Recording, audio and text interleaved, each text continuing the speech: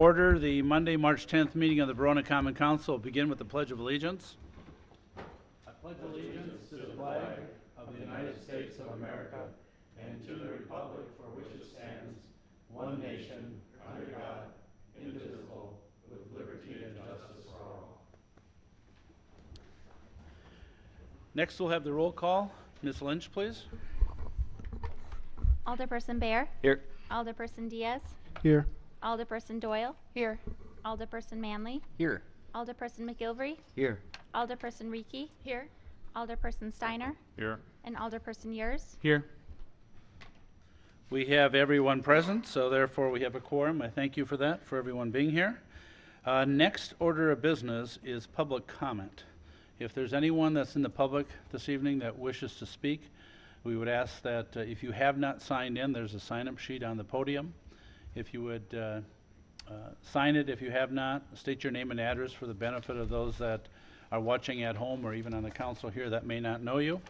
And um, Again, not a lot of people in the audience this and this evening, but I would ask that you would be respectful of um, other people that are here as far as the, the time allotment, so. Father? Hi, good evening.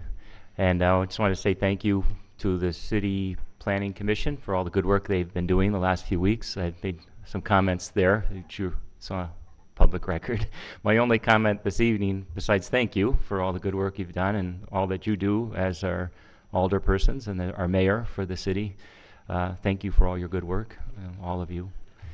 And so it's a genuine, heartfelt thank you for your good work. So thanks. Uh, just one quick question would be uh, when we get to the City Planning Commission's recommendation, the, the plan, I just want to make sure that the part that was uh, amended will stay that way, that it will be not reintroduced as a bicycle like walking. That's my, my only question. Will, will that be reintroduced or will it be left out? So that was, The report will be given as to what the Plan Commission did. Okay. Certainly, the council can amend that Right. if, if they so desire. Okay. Um, I don't know if anyone will make a- that type of a motion or not, and then we'll just have to wait and see. I'll wait and see. Thank you. Thank you.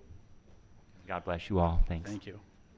Is there anyone else that wishes to speak this evening under public comment? Anyone else that wishes to speak? Good evening. I'm Carl Curtis. I'm the Executive Director of the Verona Area Chamber of Commerce. Uh, I know most of you, for the benefit of those out there in TV land. Uh, My address is 631 Maple Road, but my business address is 120 West Verona Avenue. And I wanted to quick, very quickly address two issues this evening. Uh, The first one is the downtown redevelopment and transportation plan. Uh, First, like uh, the father before me, I want to thank everybody who was involved in this plan, including uh, citizens who came to the many meetings and offered their input throughout the course of this. I was on the, uh, the planning group that was putting this all together, so it's been a long uh, process for me, but thank you to everybody who, who gave of their time to do this. As a business community, we were very pleased that this important issue was brought up and discussed. Uh, As you may know, the Chamber conducted a series of meetings with businesses last summer, and uh, from that, we submitted a report last October to the city, which I believe you all have. It's available on our website. And there's really no need to repeat what was in that report for my comments right here. But I do want to no- make one note, and that is while holding those discussions with businesses and in discussions since, including up and until today, there remains a degree of skepticism amongst several downtown business owners particularly, because quite honestly, this isn't our first downtown plan. This is actually my fifth in the sixth years I've done this. And past studies have led to, quite honestly, very little change. And I continue to hear this concern from business owners downtown that this report will be approved, put on a shelf, and collect dust for the next several years. I encourage you, the city governments, as well as city staff and city employees, to make this a plan of action, not just a placeholder on a shelf. Uh, We recognize that some parts of the plan may be taken up well into the future, decades possibly. And I also recognize that it may be more practical to move on, or I should say, um, I even though that is true about being uh, a plan that may be drawn out for a long time, I encourage you very much to move on with parts of the plans that are practical to work on now as soon as you possibly can. There's a need downtown, and we really need to get something done both for transportation and downtown redevelopment. Now, in saying this, I realize that some parts of the plan as put together, and again, I sat on the commission that commented on all this, are going to be unpopular, and they're going to require difficult decisions on everybody's part. But I would also emphasize that the plan really is as much a guideline as a plan. If there are parts in it that just are impractical and won't work, we don't have to do those parts. But I would really encourage you not to lose sight of the good parts of the plan because of those that are being objected to.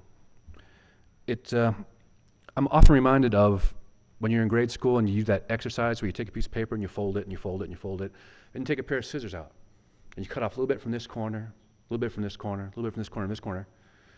And it looks like you're only cutting off little bits of paper, but when you open it up, you have Swiss cheese. I really encourage you not to make this plan into Swiss cheese by uh, ignoring the good parts or being so overwhelmed by, by the parts that might not be practical and ignoring the good parts of this plan. And I guess I would say, uh, you know, in 1961, uh, it's almost cliche now, but President Kennedy asked us to ask not what we, uh, we, our country could do for us, but what we could do for our country. In reviewing this plan, I, and from the opinion of the downtown businesses and businesses in general, I would ask you just to consider what can we do for Verona? Even if it's a little bit of trouble sometimes, what's good for the best and the most in the community? And if you use that as your guide, chances are everything's going to turn out right in the end. But the one thing I do know is that inaction of any sort will only lead to more skeptic- skepticism it's probably the worst option of all of them. So thank you very much for your work on that plan. And the second thing I want to very quickly comment on is uh, later in your agenda, you have an issue coming up for Wisconsin Brewing Company.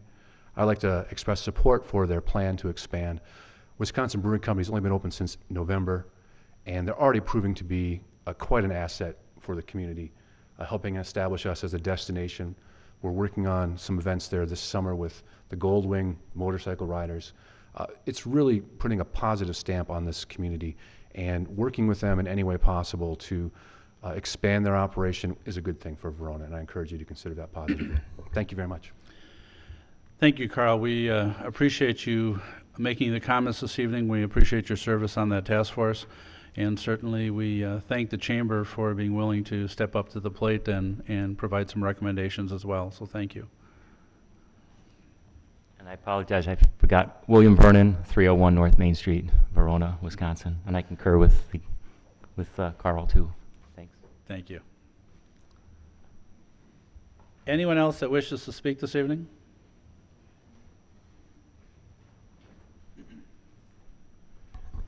Good evening. Thank you for the opportunity to speak with you tonight. I know you have a long night, so I'll try to be quick. Um, my name is Margaret Watson. I live at 6743 Rolling Oaks Lane in the town of Verona. And uh, I want to talk on speak on item number two, which is the Wisconsin Brewing Company. Um, we support the brewing company in theory, but we don't support the time in which they want to play music until. So I have some questions as well, and so I'm hoping that I can urge the council on behalf of the more than 47 residences in that area that we could just slow down, make sure we're asking the right questions, and maybe you already have the answers to these questions. Um, what is the capacity of the patio? If, if you ask the questions, we'll respond to them a little later, okay? Excellent. Um, where will the patio be located? On which side of the building? And which, where will the speakers be facing? Depending on the size of the patio, where will everyone park? Is there a parking lot going to be in there? Has there been a sound study? Do we know what the decibel levels are going to be? Will there be a fence enclosing the patio? Um, a lot of us have children that are approaching teenage years, and we want to make sure that they are outside of that fence instead of inside of that fence, if there is a fence. what is the current sound ordinance? So if the Wisconsin Brewing Company would like to play music until 11 o'clock at night during the week and 12 o'clock on the weekends, is that what the current, current ordinance says? Or would it be better for us to follow the ordinance? So our hope is that, um, our understanding when the Wisconsin Brewery went in was that they were going to be more of a tasting room and a distributor of the delicious microbrews that they have that we like very much. But uh, if it's shaping up to be more like a capital brewery in, um, like they have in Middleton, that's fine, but let's be open about it and let's slow way down and make sure we're being fair to all the businesses in the entertainment district downtown in Verona and also to the many, many residences that are in the town. Some folks believe that this is a industrial park, and I would say it is an industrial commercial park, but there are a lot of residences in that area, and we are one of them, but I believe it was 47, might be more. During Verona Hometown Days, which is more than a mile away from where we live, we can hear it loud and clear. And we know when that event is coming because permits are pulled. We support Verona, we support Verona Hometown Days, but it's not going on every night when we have children who, even in the summer, who are swimmers, are going to be waking up early in the morning. We moved out to Verona, like many of these residences, to have the quiet enjoyment of our homes in the woods. And so we would like to work together and cooperate with the town, the city, and the Wisconsin Brewery to make this work for everybody. So I just urge you to please slow down and answer some of these questions and do our proper, you know, do the proper study. Thank you. Oh, and one last question. Are the plans on the legislature? We couldn't find them, so are the plans for the expansion anywhere where the public can view them? Thank you very much. Have a good evening. Thank you. Is there anyone else? Steve? Good evening. My name is Steve Rudolph. I live at 401 Eineken in Verona. And as I'm not going to speak tonight uh, about that street that shall remain quiet. Uh, what I would like to do, however, is to speak with you just very briefly about the Chamber of Commerce and the activities associated with it. As you know, and, and first of all, I got to commend MSA and the city uh, for the process that you went through in order to come to the recommendations that are before you tonight. But as you know, the, the Chamber of Commerce wrote a white paper on this, and I would just like to encourage you, as Carl did, to read that white paper and to take into consideration the concerns of the chamber.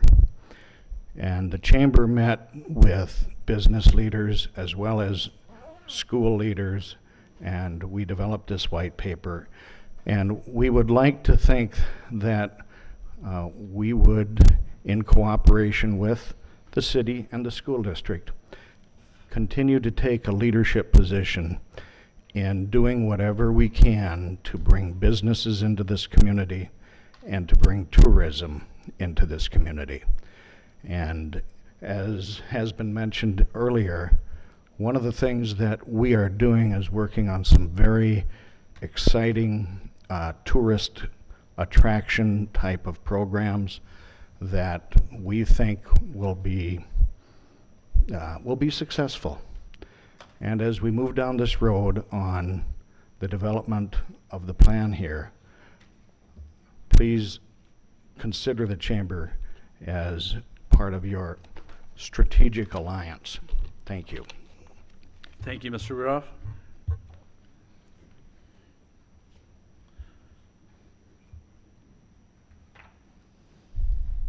Good evening. My name is Sasha Termott. I live at 149 Railroad Street, right in the heart of downtown. And I'm also a board member of the Verona Main Street Condo Association, which is also located right there along the bike trail. And as a resident and a representative of the entire condo association, um, we all would are very excited about living right downtown in the heart of Verona and about the downtown redevelopment plans that have been expressed and the excitement of the Chamber of Commerce and others uh, to do more with the downtown area that we all so much enjoy. I think our concern is that as residents who have a significant interest in how the downtown redevelopment process goes. We're looking for opportunities to have uh, very, I guess, close involvement in some of the specific plans regarding the uh, plan that I know you'll be voting on tonight.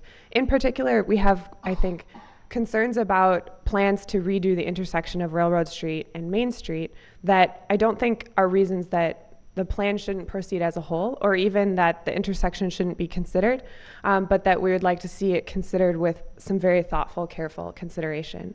Um, for example, I think there are precautions that can be taken with uh, redesigning the intersection to ensure that doing so doesn't introduce additional light coming off of Main Street into the more residential neighborhoods uh, with blinders on the lights and so forth that would be in place. Similarly, I think we could look at items to ensure that um, as the traffic is redirected, that there are sufficient precautions such as a stop sign or other uh, steps that I'm sure all of you have more familiar with than I do to ensure that the speed of the traffic on Railroad Street remains appropriate for a residential uh, lane.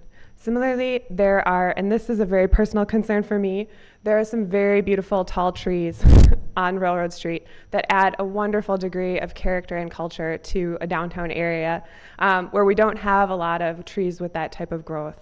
And I'd hate to see a construction to enlarge an intersection really interfere with that kind of beauty that can't be easily replaced in our downtown area. So again, I guess I would urge that as the downtown redevelopment is approached, it be done in a really thoughtful way that preserves many of these kind of cultural treasures that we already have in our area. Thank you. Thank you for being here this evening.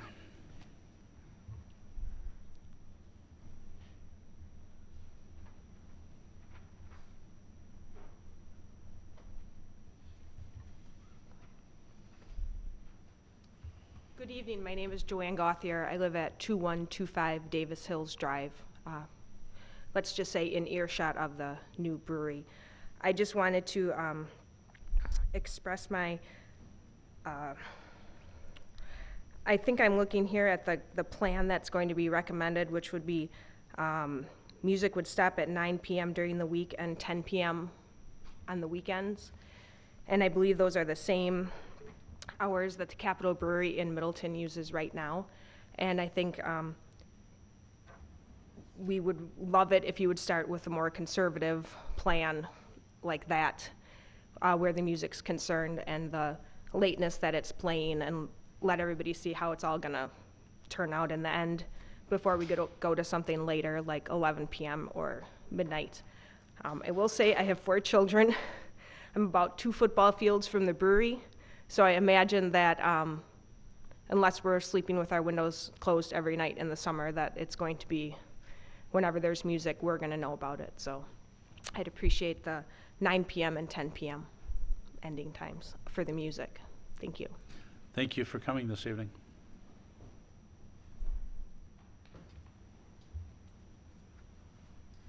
Good evening. My name's Lisa Kinsman. I live at 6742 Rolling Oaks Lane in the town of Verona. I am also a neighbor, um, live somewhat close by to the Wisconsin Brewery Co- Brewing Company. Um, and I do urge you to um, look closely at the times the music is being played, of course. Um, we are concerned about our children and them sleeping at night. We love to leave the windows open in the summer. And if music is played late, we will hear it. Um, my um, goes to bed at 7 every night.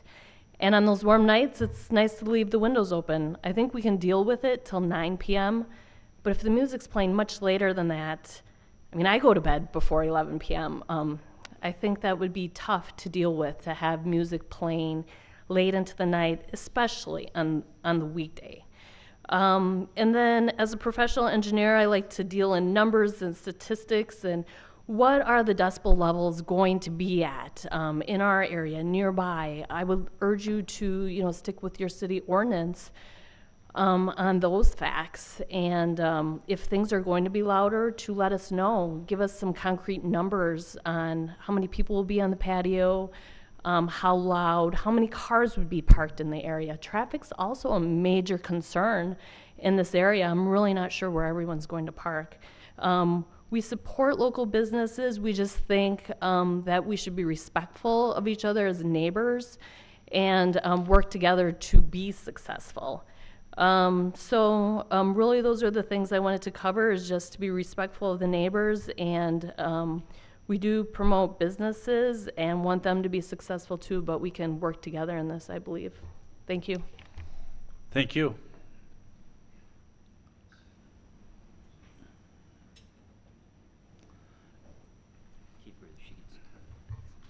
Is there anyone else in the audience that wishes to speak this evening under public comment? Anyone else in the audience? Going to third and final time, anyone else in the audience that wishes to speak? Seeing none, we are going to move on with the agenda. Uh, Next, we have approval of the minutes from the February 24th meeting of the Common Council. Those minutes were included with your packet. What's your pleasure? Move approval? We have a motion by Mr. Yurs. Is there a second? Second. Seconded by Ms. Reekie. Were there any additions or corrections to the minutes of the previous meeting? Seeing none, all those in favor of the motion signify by saying aye. Aye. Opposed, no. Motion carried and the minutes are approved.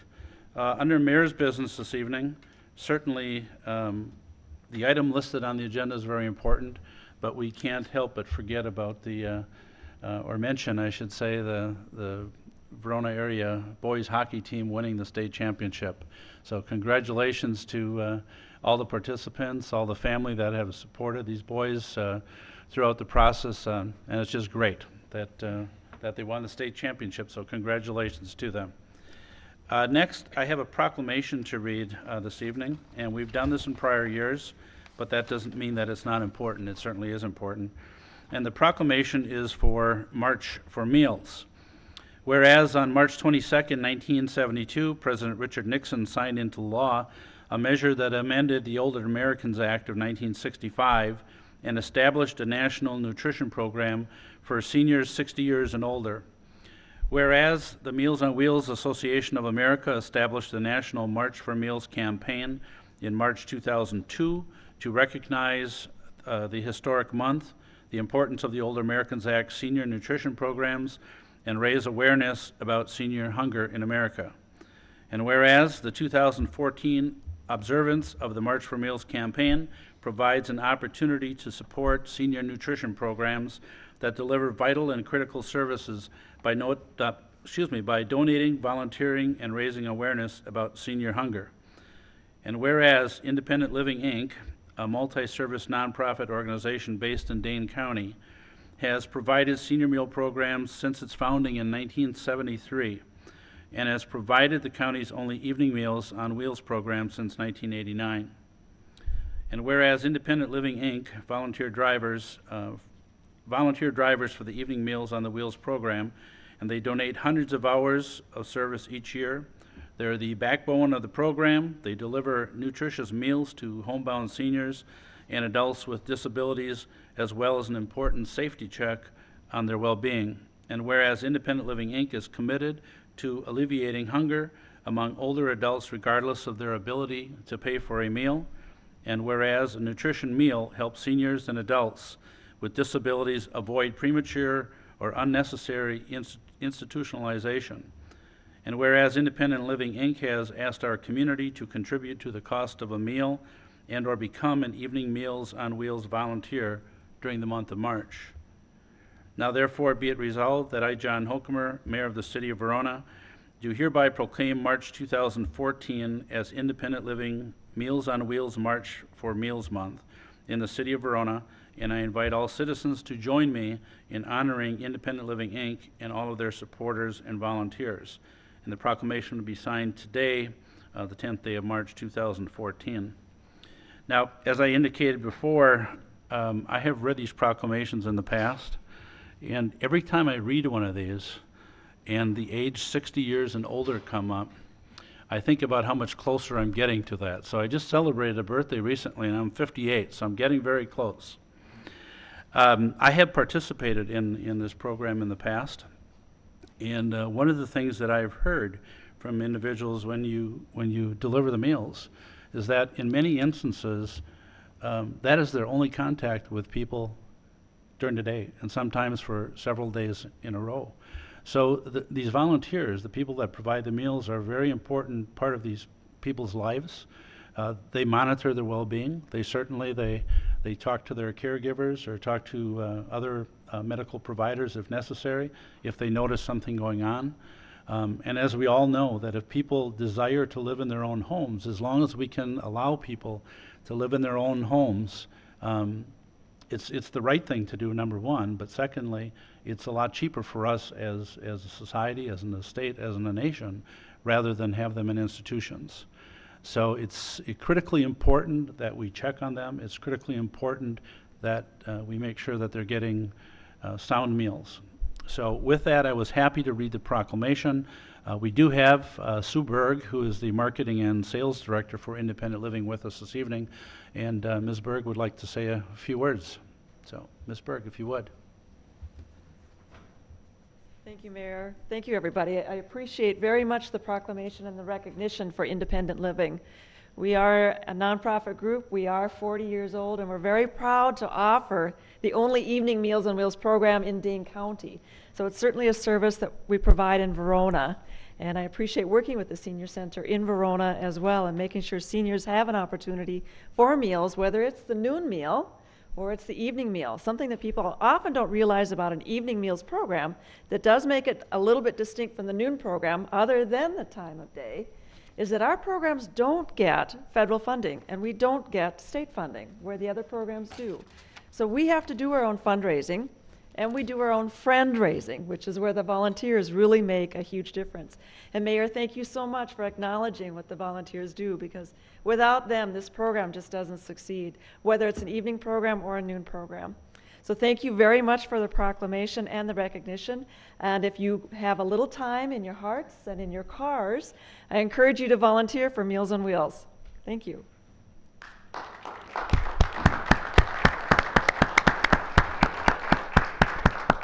So thank you for being here this evening. Yes, uh, Ms. Doyle? Thank you, Mr. Mayor. Um, I was just wondering, and I'm not sure if you can answer this, Sue, but who should, should we just get in contact with you if people have some time to volunteer or to make donations? What's the best way to go about that? Thank you. There are three very Sue, if you, if you would please come to the podium. There are three very easy ways to, to volunteer or your time or your resources. One is to get in touch with me, and I am with Independent Living. Our phone number is 274 7900, and we also have a website. It's independentlivinginc.org. Another way is just to call the phone number I gave you, 274 7900, and explain what you'd like to do, and we'll connect you with the appropriate person. And on our website, there is a volunteer page and there is a donor page. You can go right to that. Thank you.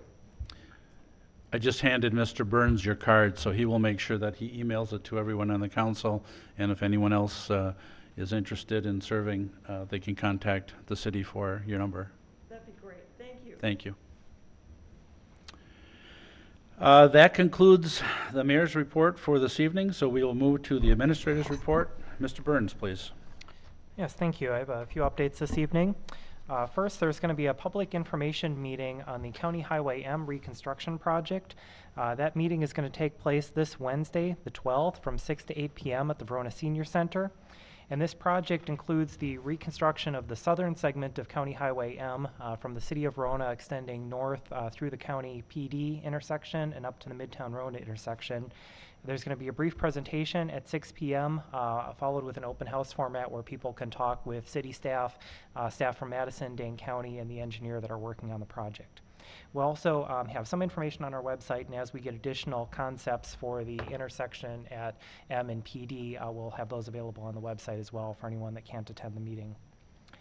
Uh, also on the 12th, there's going to be a meeting of the Dane County Cities and Villages Association. Uh, that is going to be a noon meeting at the uh, City of DeForest. And some of the topics included on the agenda for this meeting, including a discussion about the status of the Danecom radio system, uh, the status of the Dane County 911 Center, and also a discussion about the Capital Area Regional Planning Commission, including the item that we had discussed uh, previously about uh, the potential inclusion of fees uh, for service within the CARPC budget. Uh, I'll be attending the, the meeting and uh, Mayor Hochkammer attending as well, and we'll report back on the discussion at that meeting. Uh, Last Friday, there was scheduled to be a hearing on a motion for summary judgment in the matter involving the City of Verona with the Fire Department um, hiring process and a lawsuit filed by the IAFF union. Uh, The judge did postpone that hearing. Uh, That has been rescheduled until April 24th. Uh, The judge had indicated that he was looking for more time to review the briefs and the materials from both parties. And again, I'll keep the council updated as there's any ad- additional action on that pending lawsuit. Uh, Also, for the fire department, related to the uh, fire station design process, uh, there was an open house that was held at the current fire station. Uh, We do have materials from that open house available on the city website if anyone was interested but unable to attend. The architect is continuing to meet with staff um, from fire, EMS, and administration to work on the detailed design process. Uh, We are looking to schedule another ad hoc committee meeting the last week of March. Uh, Additional information will be coming out on that shortly. And then we're anticipating that that item would uh, come back to the uh, council and plan commission as there are additional details on the design. And then finally, a reminder that the spring election is coming up on April 1st, and absentee voting will be beginning uh, next week, starting March 17th in the office and running through March 28th. Be happy to answer any questions. Are there any questions for Mr. Burns this evening? I'm not seeing any. Thank you, Bill. Uh, Next on the agenda, we normally have the engineer's report. Um, I've been told that Mr. Gunlock is not feeling well this evening, and uh, we will supply a written uh, report um, very soon. So with that, we will move to committee reports, and we will begin with the Plan Commission. Mr. Yurs, please. Thank you, Mr. Mayor. Under um, 9A1 um, is an ordinance adopting the Downtown Verona Mobil- Mobility and Development Plan as an amendment to the City of Verona Comprehensive Plan. Uh, To give the overview and a presentation, um, I'd like to turn it over to Mr. Valerius from MSA, as well as Adam and Mr. Sayre uh, from the City of Verona. Thank you. Jason, go ahead. All right, thank you. Um, The presentation I'm going to run through tonight is uh, largely similar to one that I did for Plan Commission last month, uh, but with a few, uh, a few additions uh, and and adjustments. What I wanted to be sure we do tonight in the few minutes that we cover, use to cover the, the plan draft, is to um, provide enough of the background and a little bit of a glimpse into the data behind some of the recommendations, um, because I don't know that we uh, did that adequately uh, before Plan Commission. So I want to be sure we, uh, we, we do that tonight. A couple of things uh, before we get to that, though, is uh, just a quick rundown of the schedule that this project took and the, the course that it took. We started about uh, uh, 14, 15 months ago, end of uh, 2012. Our first committee meeting was in February of 2013. And uh, there were a series of public meetings, uh, four public meetings last year um, in the course of uh, putting this plan together. And we had, of course, the uh, Plan Commission public hearing last month with a, with a second meeting uh, last week uh, when the recommendation was made uh, to approve this plan with a couple changes. To go over briefly what the vision is, I do think it's worth reading the vision statement. Uh, downtown Verona is the center of the community, a vibrant destination for residents and visitors. The downtown has grown with the city, adding more places to live, work, shop, and eat, yet it has retained a small town feel. Businesses are thriving. New parking lots and other improvements have eased congestion, and a series of sidewalk and streetscape improvements have made the entire area inviting, attractive, and recognizably downtown. And there, are, there are a few core objectives listed there, uh, talking about managing traffic, providing parking, improving pedestrian and biker comfort and safety, uh, facilitating investment and development, and um, establishing a consistent streetscape character throughout the downtown area. Something that I thought was important to add uh, to try to take a step back and ask why was this plan initiated and what is the intent of this plan? What does a lot of this stuff ultimately boil down to? Um, a good chunk of our effort was uh, went into evaluating the traffic situation and uh, what space you have right now to accommodate traffic, uh, what growth may come in terms of traffic flow from various places that is uh, coming to downtown Verona, um, and then making decisions about how and to what extent to attempt to accommodate that traffic as it continues to grow. So uh, there are uh, s- specific uh, items in here addressing how much right-of-way for various streets um, or for various portions of Main Street and Verona especially, and also uh, some other street improvements. And the intent is not necessarily, uh, though there is a schedule in here, we'll get to it, the intent is not necessarily to say, you need to do these things on this schedule. The most important thing is to decide which areas you're going to protect from development, where you're going to allow buildings to be located or not located so that those that come after you have options. That's really what this boils down to. You want the develop, you want development to be able to occur with the confidence that those hundred-year buildings that you hope are going to be built, that you're building good buildings that are going to last a hundred years, those buildings wouldn't need to be torn down because the next generation really feel something else has to be done with traffic. You would like those hundred-year buildings to still allow you the flexibility to make decisions uh, about how much street to provide or not provide.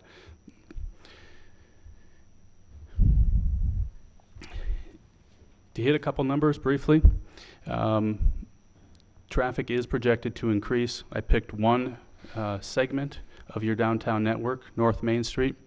Uh, the average daily traffic, uh, more or less right now, is around 11,400 vehicles. And the peak hour, uh, which is the evening commute, uh, 445 to 545, is about 1,162 vehicles. Uh, by 2035, uh, those are each projected to go up by over 80 percent. Um, and that's due to your own growth uh, and the growth around you. Um, the modeling was done by uh, a, a firm we worked with, SRF, who really specializes in using the regional model to uh, evaluate what may happen with traffic in the future. Uh, briefly, this is a snapshot of existing conditions showing current delays in that PM peak hour, that evening commute. And so um, on Main Street, you're seeing delays if you're trying to go north to the main Verona intersection of uh, about a minute and a half, and traffic's backing up 800 feet. Uh, trying to come southbound, it's uh, over two minutes. Traffic is backing up about 1,000 feet, and you have uh, still some pretty significant backups, uh, but uh, to a lesser degree, east and west. And this, the, the backups, in terms of how far traffic backs up, is something that we heard about consistently from the business community being a problem. Uh, that people who have driveways in there, and it wasn't just business owners, but uh, them especially, have more traffic and more need to get people in and out of those driveways, and that was a concern.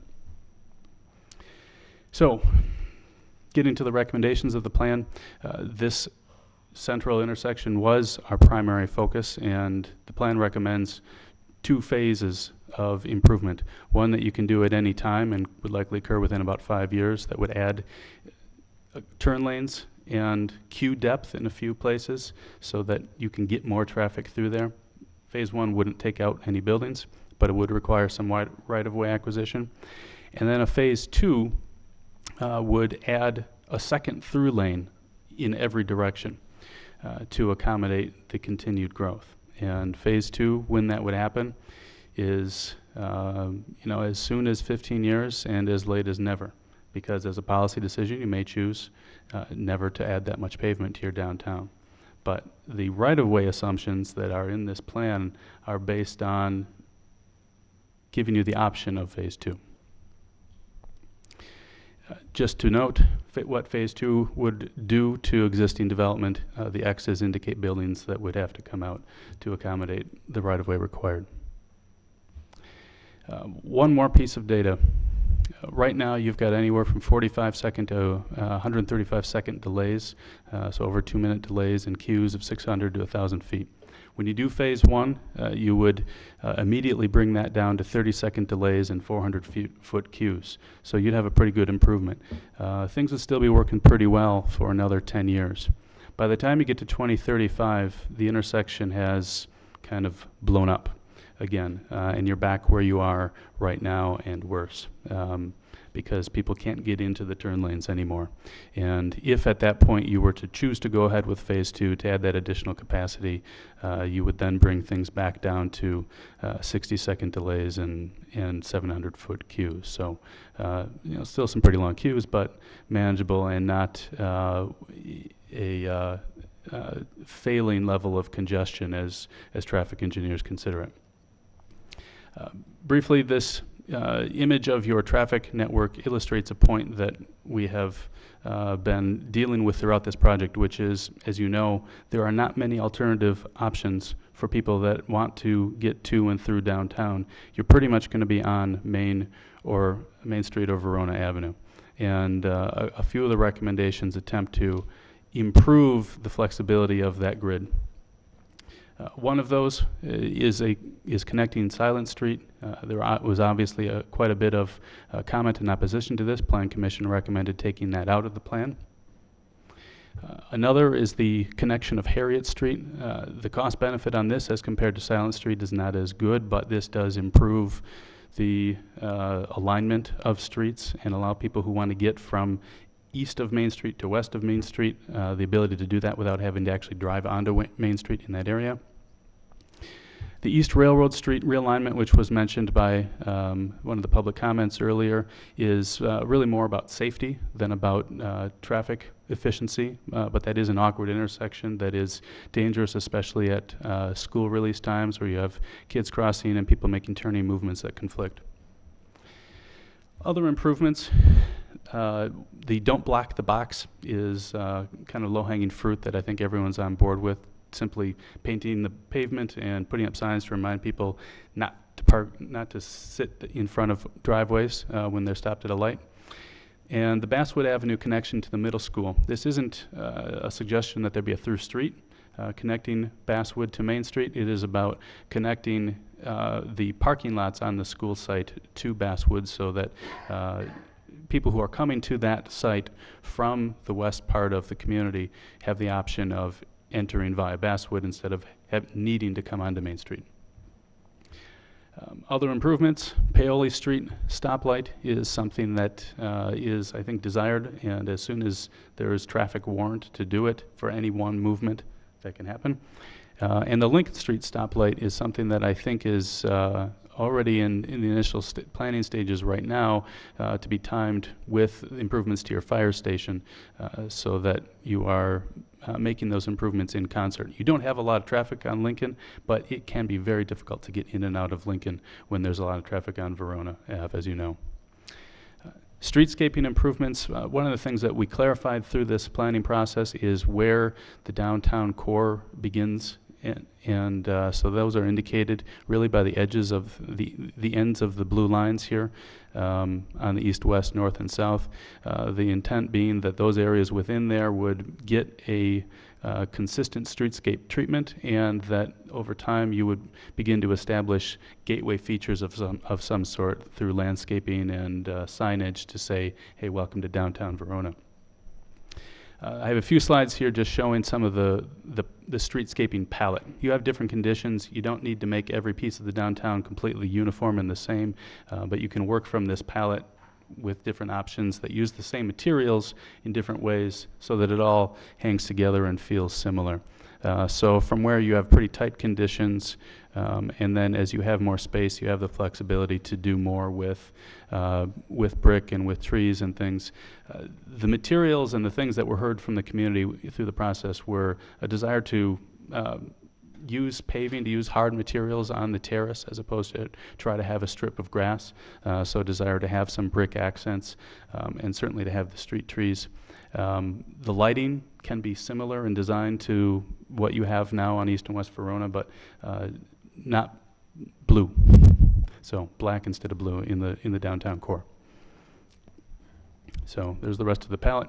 Uh, crosswalks. Um, most of the most of the recommendations uh, in the plan regarding crosswalks are kind of generalized, but uh, there are a couple places that we called out specific improvements.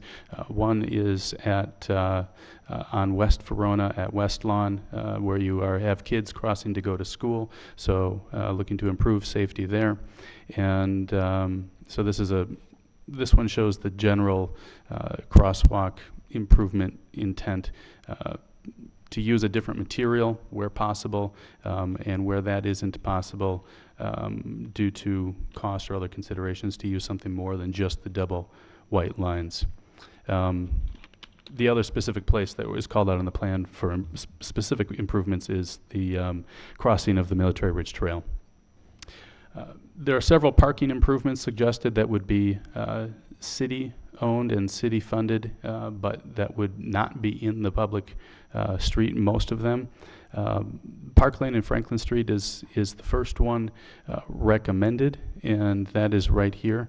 And this would provide immediate relief to the adjoining businesses on South Main that uh, were the, were the only businesses we specifically heard about parking concerns and parking problems right now.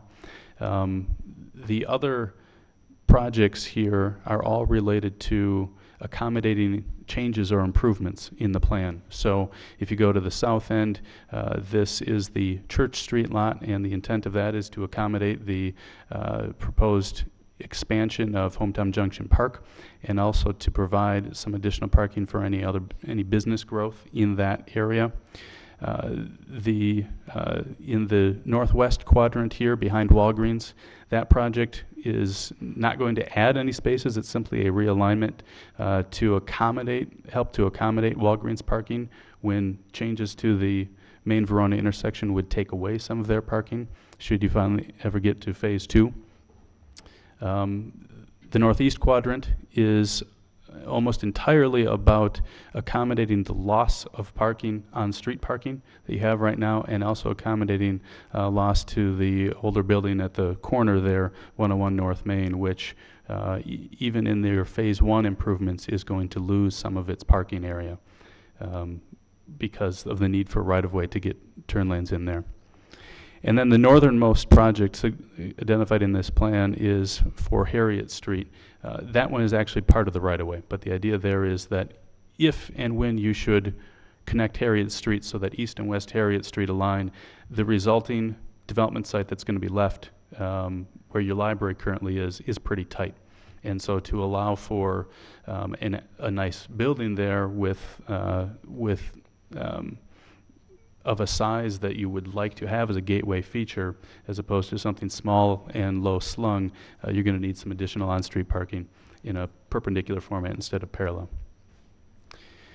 Quickly then talking about redevelopment projects, uh, as I noted, there is one public redevelopment project, and that is the uh, proposed expansion to Hometown Junction Park.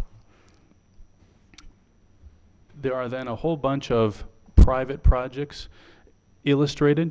It is not the intent of this plan to say, uh, this is what those projects are look, going to look like, but rather simply to illustrate what's feasible and what might happen there. Uh, So there are uh, potential projects identified up and down Main Street. On West Verona, um, out at Legion Street, there are projects suggested on the north and south sides. And on East Verona, this entire uh, block at the corner of East Verona and Lincoln Street, uh, just up the road here, uh, is a potential redevelopment site. Commercial to the front, residential to the back is, is the suggestion.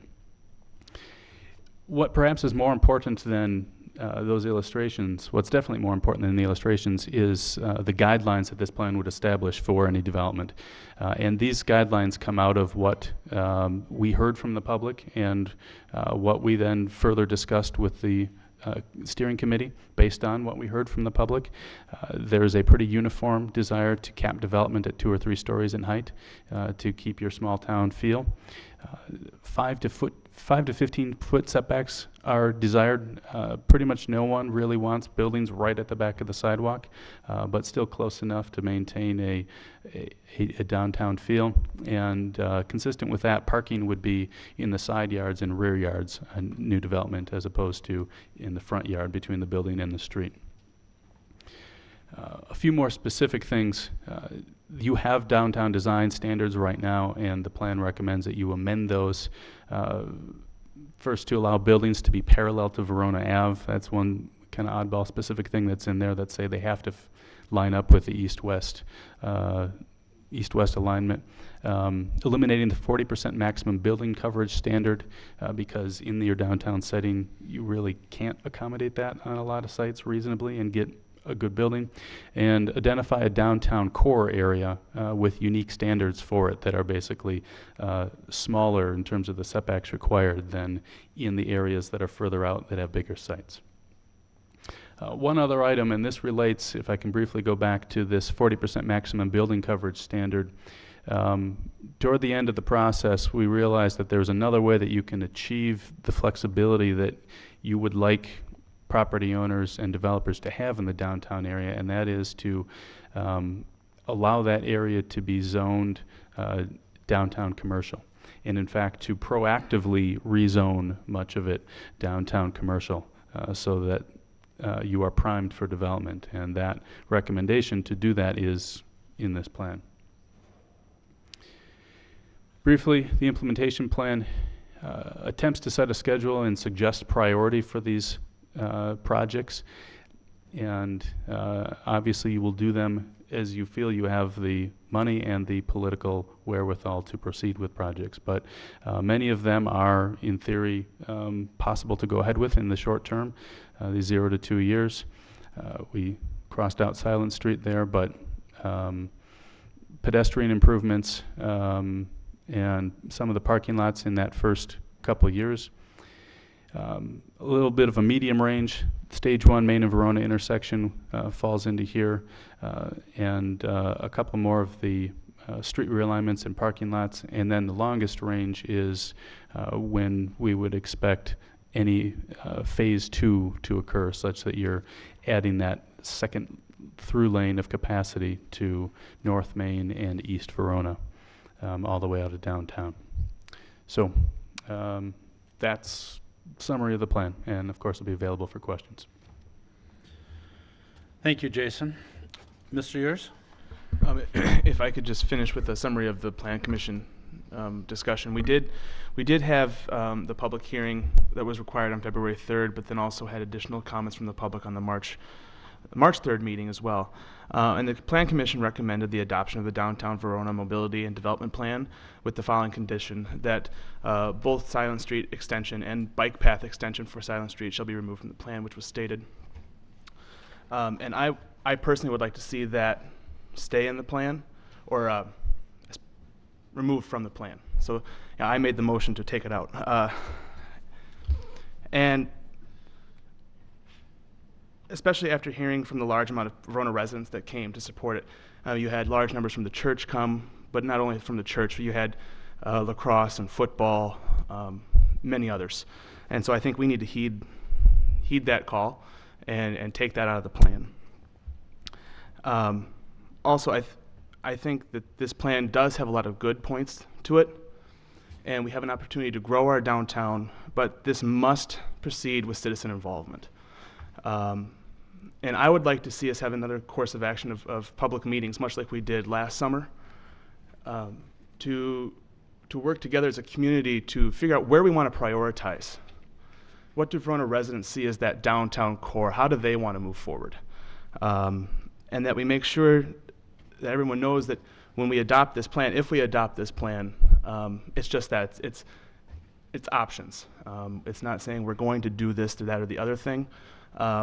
I agree with the mayor when he made comments at the at the um, plan commission that you know I won't support any eminent domain uh, whatsoever.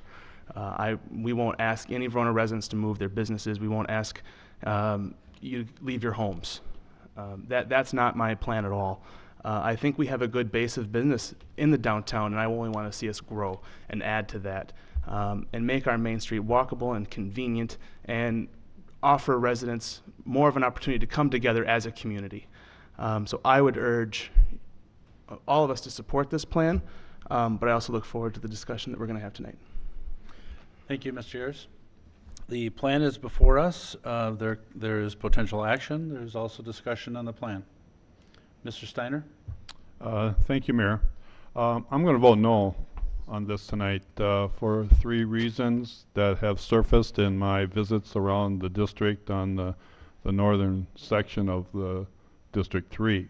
Um, one of the biggest concerns is this realignment of East Harriet and West Harriet will change a way of life for several residents in that area. And people just can't see how that's going to benefit the congestion of the north-south traffic. And of course, the school traffic is brought in on that conversation, but these people are worried about their lives in that area. The, the next one that is a strong concern, you heard a little bit of it tonight on the East Railroad Street. Uh, the West Railroad people are very concerned too. There, there's a, a couple of businesses there that I would think would be very concerned. It may affect their business and and uh, a manufacturing company there that uh, you know, oh yeah, I'll move, but the city's going to have to pay to do it. Um, they they've been there a long time. They hire a lot of people and they're happy down there. Those people like working down there and they can walk over to the businesses in downtown and have lunch and and uh, you close that off, that might cause some issues, especially if you do some other things there. And the third one is more of the religious nature, um, the Baptist Memorial Church. Uh, those people, they've been there a long time. They've been a part of our downtown, and I wish I knew how many of those people, when they come to their services or their programming or their Awana programming for their youth, how many of them actually stop and, and visit and shop and spend their money in our downtown? And, and this plan has them being abolished and moved to make room for a, well, about 12 years ago, there was a group of people who wanted to put a hotel down there. Well, let's move the, the church to the south side of town. Let's put a four-story hotel in there. Parking, businesses on the bottom. Well, those people, they want their church to stay there. They like it there. I saw a video at the Verona Historical Society about their history. they love it. They don't want to change. So we got to be very careful about changing the culture of our city for those three reasons if we accept this. And uh, I told those people I would have a strong voice on this. You've heard it, and I will vote no. Thank you. Thank you, Mr. Steiner.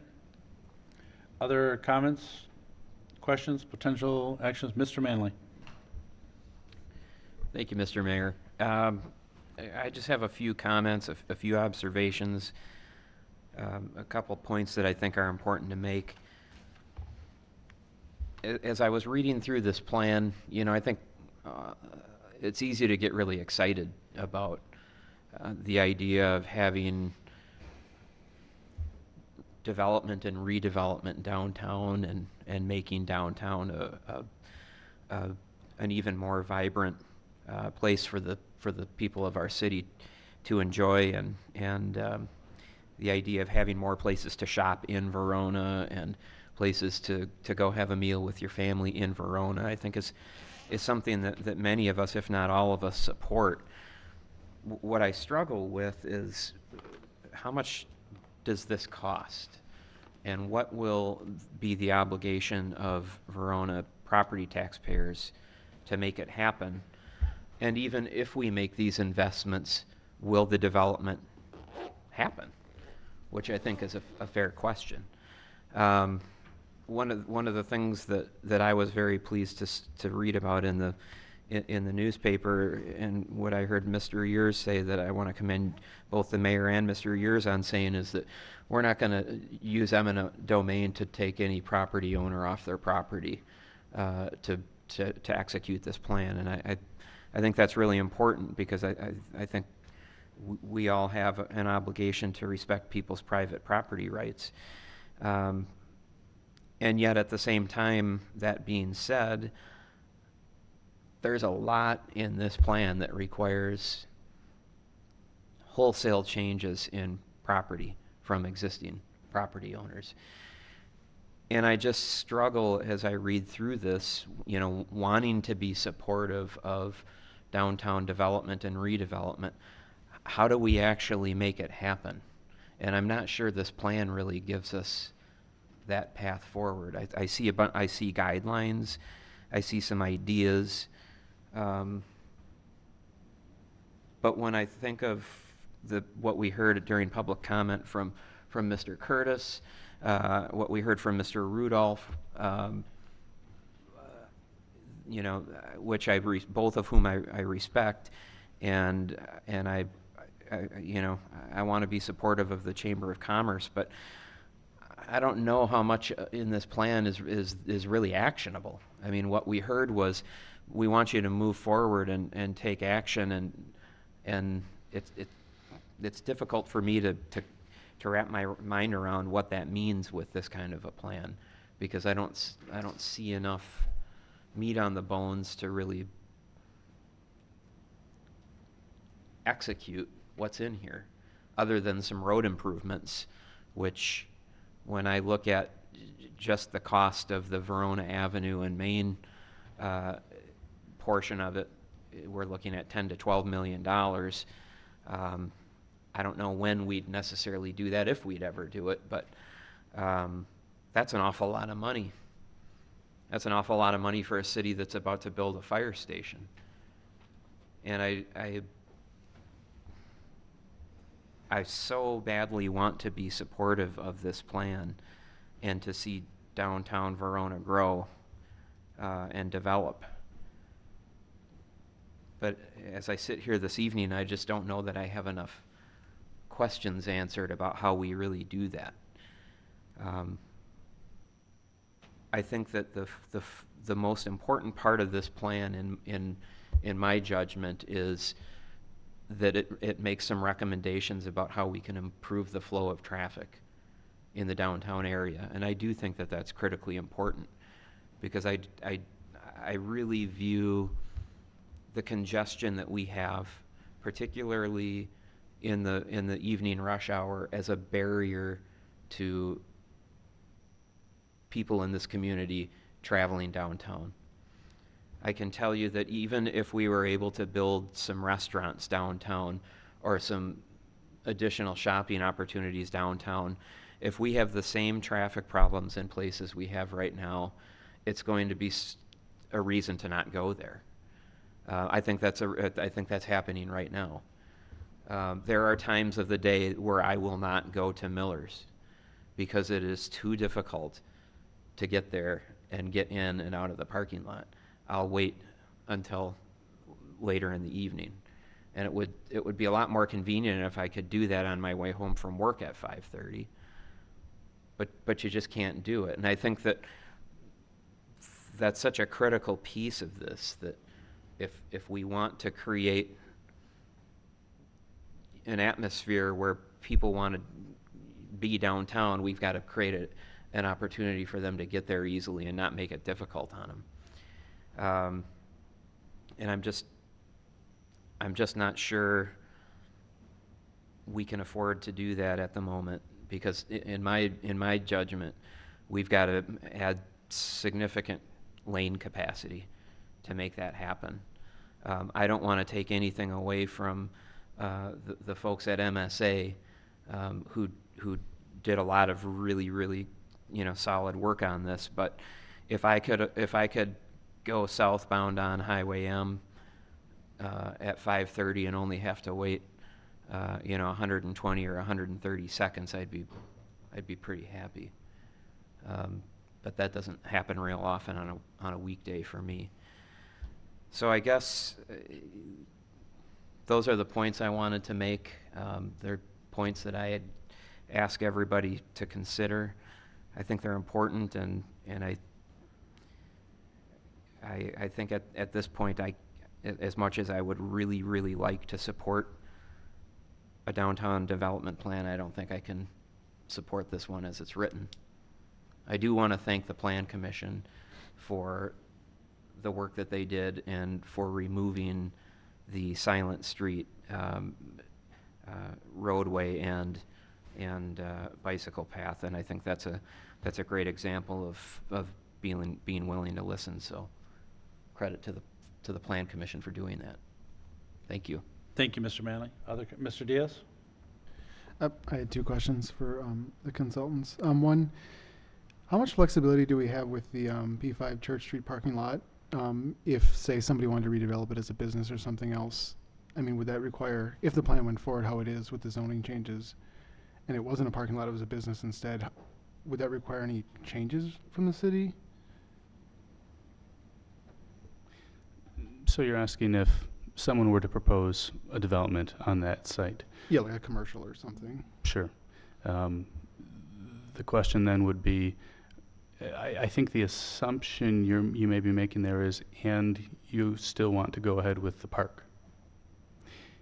Because those, the, because the, the, this lot is especially tied to that park with the intent that you can do more and accommodate more people downtown uh, without impacting the businesses that currently have parking, especially Miller's.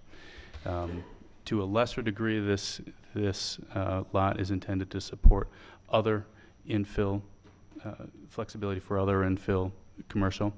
Um, But I guess my bottom line would be, uh, if you want development on this site and a park, you're going to need to find someplace else to accommodate the occasional influx of cars. If you don't, if you decide to take the park improvement out of the plan or ignore that, then I would say you could accommodate development on this site, and it wouldn't be a big concern, as long as that development itself is providing its own needs on site. Gotcha. Uh, uh, and my second question is, how much traffic does West Railroad see, like low, medium, high? My apologies if I missed it. I didn't. We didn't get counts on West Railroad, uh, but it's, it's pretty light. It doesn't really go anywhere. I mean, there's some business, there's a couple of businesses there, but it's not a through street. So it's, it's light. Okay, thank you. Other questions or comments? Ms. Doyle? Um, I appreciate some of the, the very specific comments that the other alders have gotten into, but um, I guess what I see as the kind of redeeming quality of this plan is that it does kind of give this overview and options um, where we can avoid some situations that have led to a need for this plan and so much controversy over needing grid connections and things of that nature. Um, and I think this plan is just to avoid issues like having a park bank on the corner or having streets that are not connected in the future. So I do appreciate it in that respect.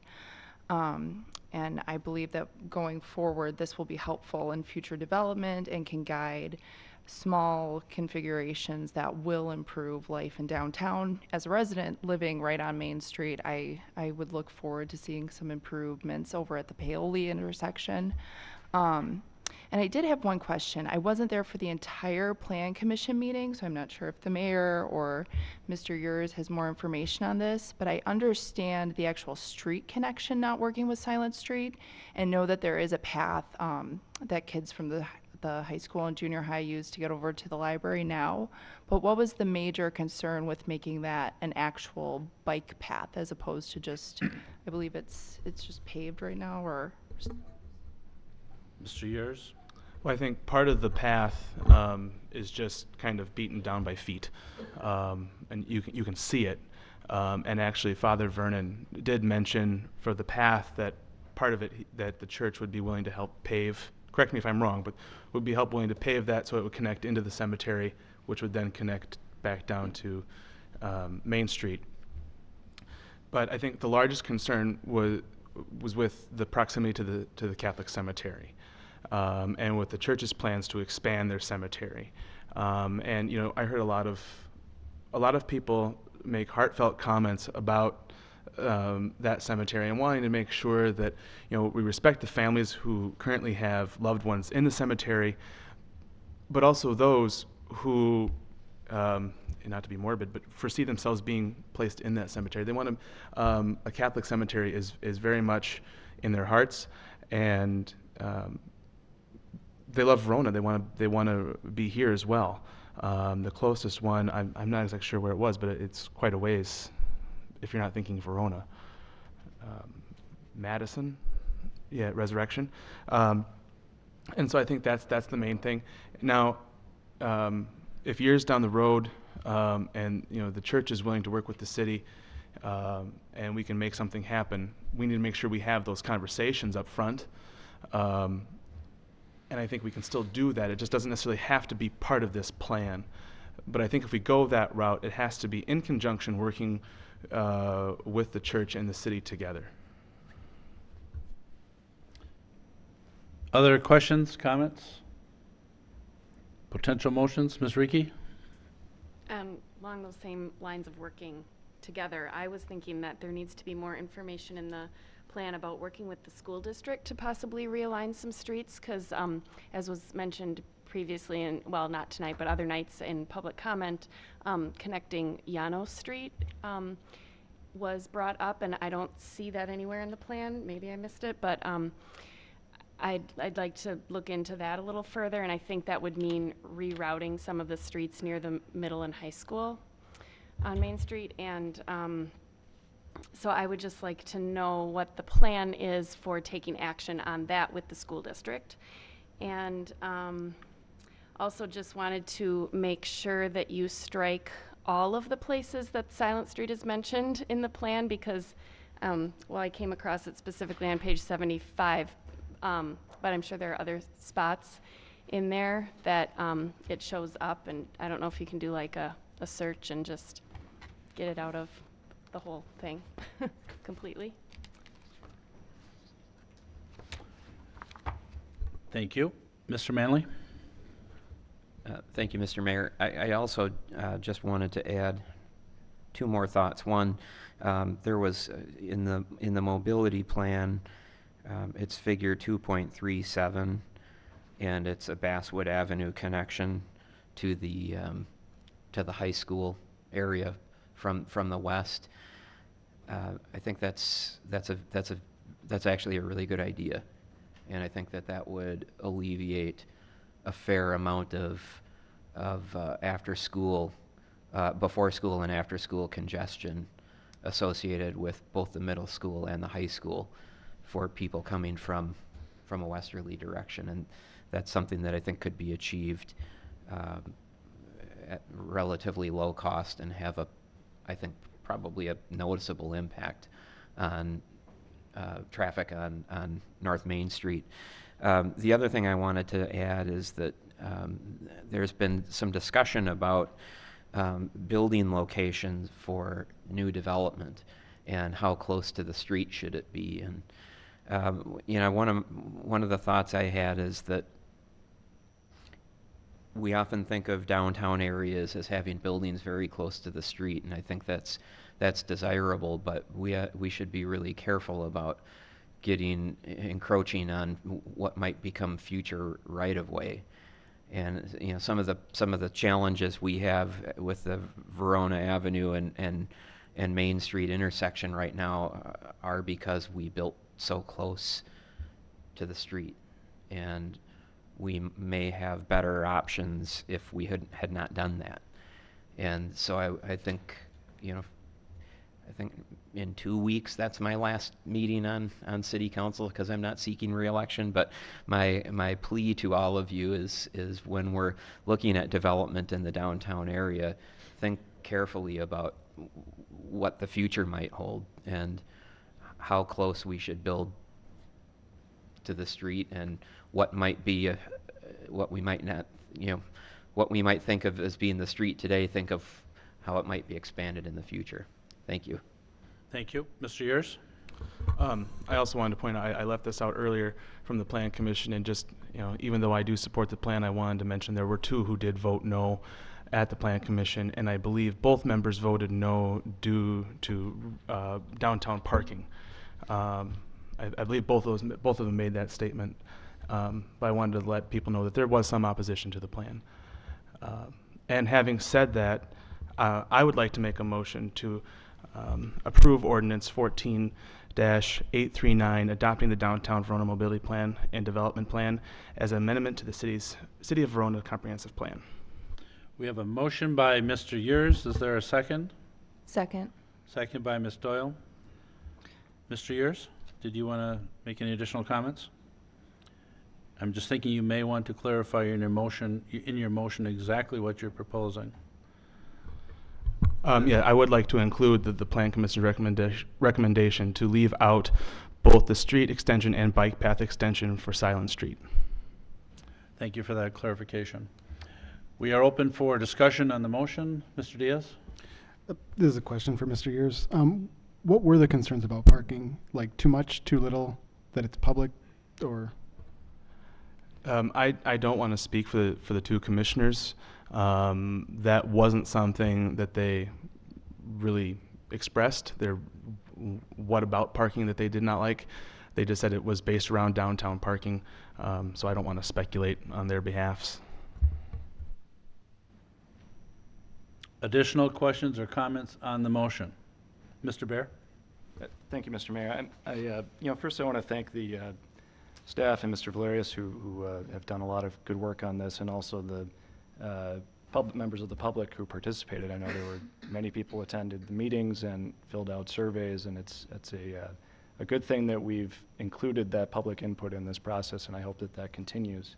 Um, And, I- I- you know, I think Mr. Manley and Mr. uh, uh, Steiner have provided some useful critiques of the plan, and I, I don't want to pile on, but I just want to mention a few things. Um, You know, we, we are growing, we're the fastest growing city in the state, and planning is obviously essential, and, and I think some of the numbers that Mr. Valerius went through in this uh, presentation, particularly, particularly about traffic, are something that we have to keep in mind as we, uh, as we discuss plans for uh, the north neighborhood, as we discuss plans for other residential and commercial developments. We have uh, a growth that's a, a very at a very fast rate, and there's no signs that that's going to slow down. In fact, it will probably increase. Uh, that rate will. So, uh, you know, I, I think that this process had a few flaws, and uh, I don't want to place any blame or, or point any fingers, but I think some apologies are due to the church and are due to other property owners who have had uh, lines drawn across their property uh, without much explanation of what this plan actually is, which is, this plan, as we saw in the vision, is a guideline for what we should do moving forward, because we are growing and we do have to plan. Um, And I think as we do that, we have to keep in mind that we have to plan using the real Verona, using what actually exists, rather than an imaginary Verona or a Verona that, uh, you know, maybe could be in existence at some point if we spend the 20, 30 million dollars that Mr. Manley mentioned. And I, you know, I, I always like in these kinds of things that you have to focus on goals, on projects that are manageable, achievable. You can't be afraid to dream. You have to dream about what Verona can be like 50 years from now, but I, I share some of Mr. Manley's concerns that there's not enough recommendations here that are actionable that will actually get us to a point of having a better downtown for the real Verona. And so that being said, I think there's also some useful recommendations. Um, I think the design standards are, are great. Uh, I, I like the, the few examples that we uh, saw of what other downtowns have done uh, with sidewalks, with streetscapes. I think the two to three stories recommendation is, is right on, and I'm, you know, I think in my mind about other downtowns that have gone through transformations recently, like Shorewood, which is a suburb of Milwaukee that has two to three story mixed-use developments all up and down Capitol Avenue and North Avenue, um, uh, Capitol and Oakland Avenue. And I think that there are examples out there of what Verona can be, and, and we shouldn't be afraid to dream. But again, we have to focus on what's manageable. And, I- and I think that the, the zoning changes, again, also a good idea. Positioning buildings with the street, also a very good idea. Um, I'd like to see more, and I think this is echoing some of what Mr. Manley said, more in the action items of what the city can do to promote development, uh, to ease traffic concerns without uh, infringing on property rights and property ownership. And I'll support that, I, I plan to support the plan, but I, I think that we may be best suited by taking a step back and thinking a little bit longer about some of these things and, and doing a little more work on what items are actionable for the real Verona. Um, and, and I think one important piece is what sort of mechanisms there are for implementing this plan moving forward. Um, there's a, a very brief mention of uh, public involvement in private development uh, with only a, a paragraph, and I, you know, I could find the page and, and let me do that quickly.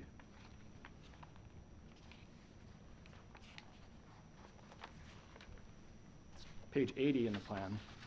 You know, I think that there are certainly some things this city can do, the use of TIF, TIF districts, use of uh, uh, rezoning is something that we certainly can do, but there's not much mention of the use of the Community Development Authority, the Economic uh, Development Commission that exists that have been dormant for years, some of, both of which I think have, or one of which has funding uh, to do this kind of work, to incentivize private development.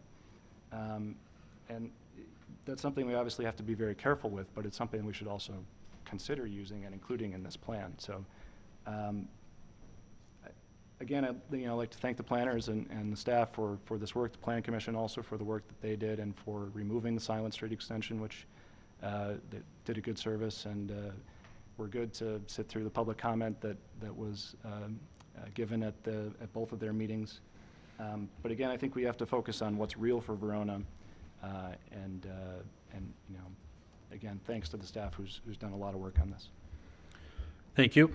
Other questions, comments? Mr. Diaz? May I offer an amendment? Sure can. Um, thank you. I would like to amend, um, the P4 Park Lane Shared Parking Lot section so that it only applies to the, the property that the city currently owns. We have a motion by Mr. Yurs. Is there a second? I'm sorry, I'm sorry, Mr. Diaz? Thank you, Dale. Is there a second to that motion? Not seeing a second. We do have a second.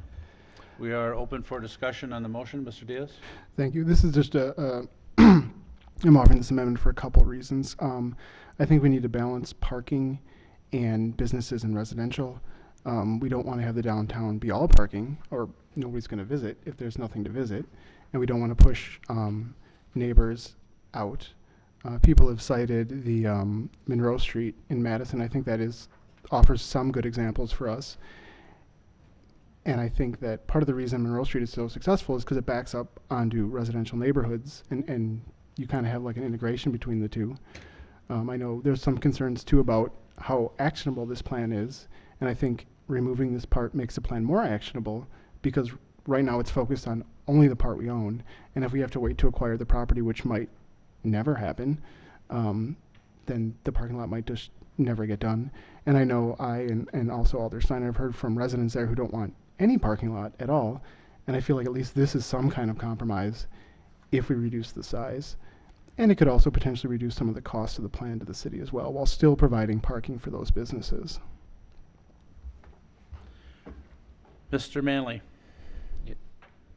Uh, Yeah, for, I guess for my sake and for the sake of, of folks at home, I- I didn't clearly hear what the motion was, and, and so I'm having a hard time understanding precisely what you're proposing.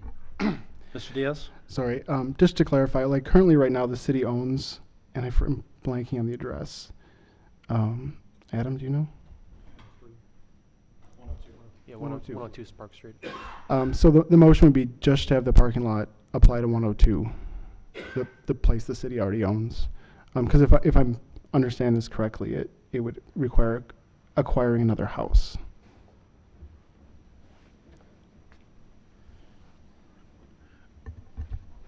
We are on the amendment, so there, are there questions on the amendment? Questions or comments? Mr. Manley? Okay, thank you for that, Mr. Diaz. Uh, Just so that I understand, so what you're, what you would propose to do is that the only parking changes in the plan would be located at, at 102 Park Street where the city owns property, so the, um, all of the other parking changes that, for example, near Walgreens and, and Oh. so forth would not? Oh, sorry, sorry if I wasn't clear. I, I just meant that for the, the P4 um, section, if you're looking at the plan. Um, Oh, it- okay, thank yeah, you. It, it would just I- be for parking. No, it wouldn't okay. be get rid of all the other parking. It would just Got be it. that part. Other questions or comments? Um, Just a, a few comments that I have. First of all, well, I want to speak to the, to the amendment, not to the full motion at this point. One of the concerns that I've heard over and over from the business community is that there's not parking. Uh, one of the things that I've heard recently is that we purchased the, the former Phil Salkin property just to appease a couple businesses. That's not the case. if we don't have the foresight as a city to create some parking, municipal parking in the downtown area, we are not going to see redevelopment of that area or, or a successful redevelopment of that area.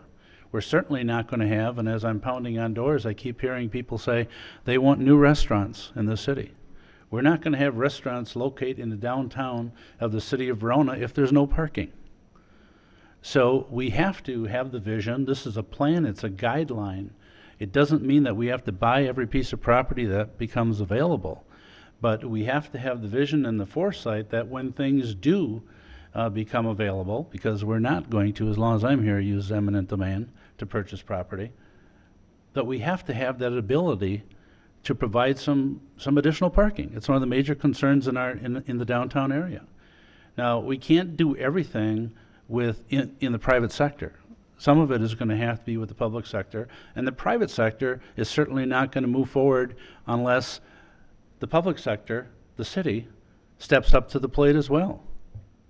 So, we, you know, we've been criticized for a long time, and there's been, we've heard before, several other plans in the downtown area. Uh, when are we going to do something? This doesn't mean that we have to do something tomorrow and buy every piece of property that comes along. But we need additional parking in the city, in the downtown area. It, it, it's, a, it's a must if we want that area to develop. And I've mentioned before, uh, you take a, a city such as Cedarburg, they had parking problems, and as properties became available, they didn't make big, huge parking lots. They bought one piece of property or, or uh, two adjoining pieces of property, and they made municipal parking lots. That's what they did. Helped out their downtown tremendously. So if we start limiting as to what we're going to do with parking, then we might as well then we might as well let this plan on the shelf. So either we're going to be serious about the downtown or not.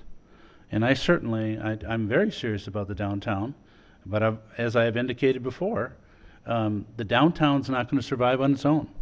We're going to need some other development on the periphery as well. But if we start limiting as to where and uh, where we're not going to buy properties if they become available, then the plan's a failure right now. Then we might as well not move forward. My comment. Additional comments, questions? Ms. Doyle? Um, I'd just like to echo your sentiment and say that I, these are just options. It's not anything that's going to happen tomorrow. It's just we need to maintain options and continue to have foresight so that this truly is a plan that can be utilized in the future. I think, I think especially something that's already near so many existing businesses and existing areas for development would, would be, you know, cutting our noses off despite our face right away. So I agree with your sentiment, Mr. Mayor.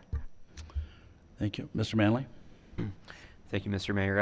I, I, want to echo what you and, and Ms. Doyle said. I, I think for there's there's a lot of really good ideas in this plan, and a lot of questions that I continue to have. Uh, but one thing that I think is indisputable is that if we don't have adequate parking downtown, we're not going to have a vibrant downtown. Period. Um, so I'm I'm I'm, as much as I would like to support you on your, on your motion, Mr. Diaz, I, I'm just not going to be able to do that. Discussion on the amendment to the motion. Is there any further discussion? Seeing no further discussion, all those in favor of the amendment signify by saying aye. Aye. All those uh, opposed, say no. No. So I think we only had, did we have one aye? Uh, Mr. Diaz uh, voting aye. Motion fails. So we are back on the ma- on the main motion. Further discussion on the main motion. Mr. Bear? I, I just have a question for, uh, for the staff or Mr. Valerius on the, the Harriet Street connection on what, uh, I think the, the question was brought up, what benefit that would actually bring to uh, some of the traffic issues. So if you could address that. Sure. Uh, as I as I said at the Plan Commission meeting, uh, there would be a uh, modest benefit in connectivity, uh, sort of improvement in the network to reduce turning movements. Um, you're not going to see much reduction in delays by this project. It doesn't create much of an alternative route for people. It just uh, is a is a modest improvement, an opportunity to correct a flaw in the network. Further questions or comments on the main motion? Mr. Diaz? Uh, two things. I'd like to ask for a roll call vote on this plan. Um, and then the second thing is I'm, I'm, despite my failure to, to modify some of the things I don't like about it, I am in favor of the plan overall. I think that Verona's going to grow um, no matter what we do. Um, the whole county's growing, and, and Verona's growing specifically because because of Epic. And maybe I'm biased, but I don't think that's a bad thing to have Epic growth. Um, and this plan will at least allow us to do some small things right away, show the business community that we're serious, have plans in place uh, when businesses come to us and want to want to move forward. Um, additional commercial development will help diversify the tax base, take some of the burden off of residential homeowners, and and and really have a nice cohesive downtown that people can can bike to, can walk to, can drive to. Um, and just really kind of be like an engine engine for the the region. I'm especially I especially like the um the the setback and zoning changes that have been proposed. I think that'll help matters greatly, and, and I think it just it's not perfect, but I, th- I think it provides a, a blueprint going forward. And I definitely want to take on the challenge that, that some of the public speakers mentioned about don't don't put this study back on the shelf. Don't you know? Well, I guess you didn't put it this way, but I'll put it this way. Don't don't pat yourself on the back after tonight if it passes and, and, and assume you're done. But but be ready to work with everybody and, and, to work with the community. I, I think that the, one of the best things about this community plan has been the community the community input. I was uncomfortable from the get go about Silent Street, but I don't know if I would have had the political strength to get it out of the plan by myself. But geez, with the amount of people that showed up, it was it didn't even get to the council. So I, I definitely appreciate that. I, I hear enough enough complaints about the traffic on Enterprise without making like a little highway to it. Um, so I guess just in conclusion, I think this is a good plan and, and I plan to support it. Thank you. Other questions, comments, Mr. McGilvray? Thank you, Mr. Mayor. I guess just one observation I would make. I, I've heard it mentioned uh, several times tonight about the potential or not having the potential of uh, eminent domain taking place as a, as a means to acquire any of these properties. And it seems to me the input I've received back from, from people that are, that is negative, there are people out there whose properties would be adversely affected if some of these things were, were done. And in, in order to, you know, assuage some of the, the concerns people have concerning that, I'm wondering if we might adopt language within to this, this, um, development plan that would say that it's, it's the intent of the city not to use eminent domain. Not to say that some of these things couldn't happen when, when development wants to happen. I, I, I tend to believe that that's, that's really when most of these things will happen, not when we force it, when projects come to us. Uh, I think it's important to have this plan in place so that people can look at it and say, oh, that, that's what the city of Verona wants to do. I think we can make that work. Uh, I think that's when the development will happen. So I, I'm wondering if there isn't a mechanism we could put into place to, to uh, keep that uh, those, those concerns at bay uh, by business owners or residential property owners. I'm looking for a- any input from staff uh, or even our, our consultants on this. I- I would say, and I, and I know, Mac, and I appreciate what you're saying, but in the back of my mind, the first thing that, that comes to me is that this council or no other council can bind any future councils. So, you know, I think we could say that, we could put that in the plan, and we could say that that's our intent, but the fact of the matter is, we cannot bind any future councils. And, and I, I, I recognize that, Mayor, but I believe comments that were made concerning the Silent Street, there were former alders who were involved in that process, and, you know, it was their understanding that at least there was language and discussion that took place that said, uh, you know, Silent Street wasn't gonna go through. Now, I, I recognize that there's some other uh, legal work that was done to, to see if there was, uh, if we had any rights to do anything at Silent Street. But the important part to me was there was something in place that that body at one point said, no, we will not pursue, you know, we w- won't pursue putting Silent Street through. Um, I think this body could certainly do it. That- I agree with you. Uh, We all know we're up for elections every, every couple of years, but I, I- think it's important to, to put it down in writing that that's not the city's intent, and it may help people moving forward, uh, future bodies. Mr. Yurs, then Mr. Manley. Um, I, I agree with Mr. McGilvery on this. Um, I think that this whole plan is, is trying to develop a culture, or not develop a culture. I, I want to keep stopping myself from saying that. It's, it's continuing a culture um, of hometown USA and the, and the values that go along with that. And I think laying down that intention in writing um, is an important step in maintaining that culture and in continuing it as well. Um, so I, I would agree to put something down in writing. Mr. Manley? Thank you, Mr. Mayor. I think I I totally agree.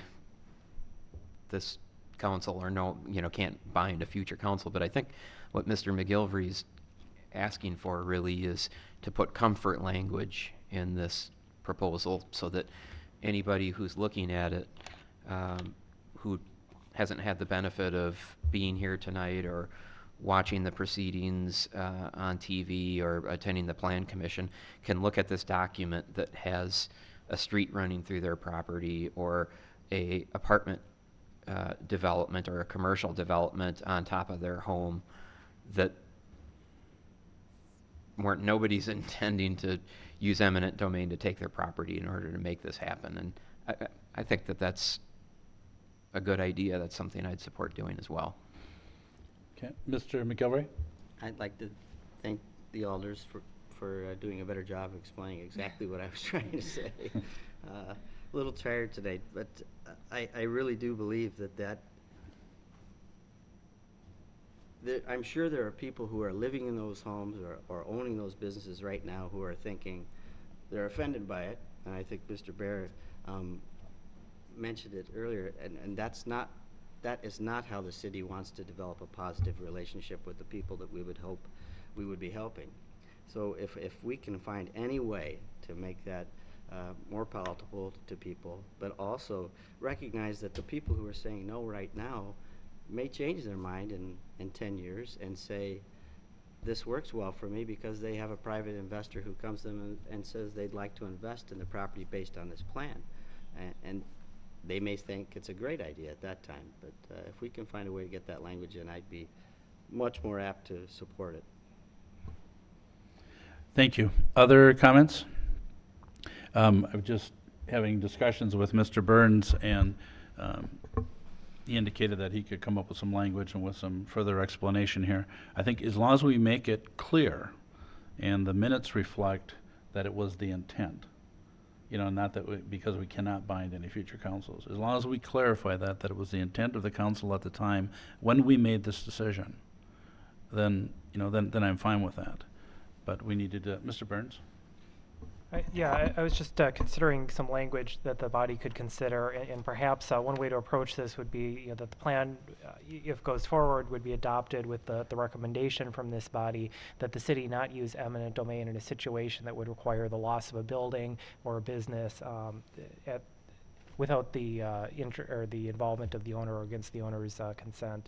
Uh, I, I would first say it should be as a recommendation, as we've discussed, and also we may not want to just, you know, say that we would never use eminent domain in any situation, but perhaps limit it to a situation where a building or a business would be lost, uh, just to provide flexibility if there is a, a small piece of right-of-way or utility connection or something like that that doesn't require the loss of a building or business, that that could be considered if needed. Thank you, Bill. Other additional comments or questions? Ms. Reekie? I just wanted to clarify that the eminent domain ability would still exist and that that should be clear in the language because I know of one person who um, is very interested in the city using that so that she can get rid of her property.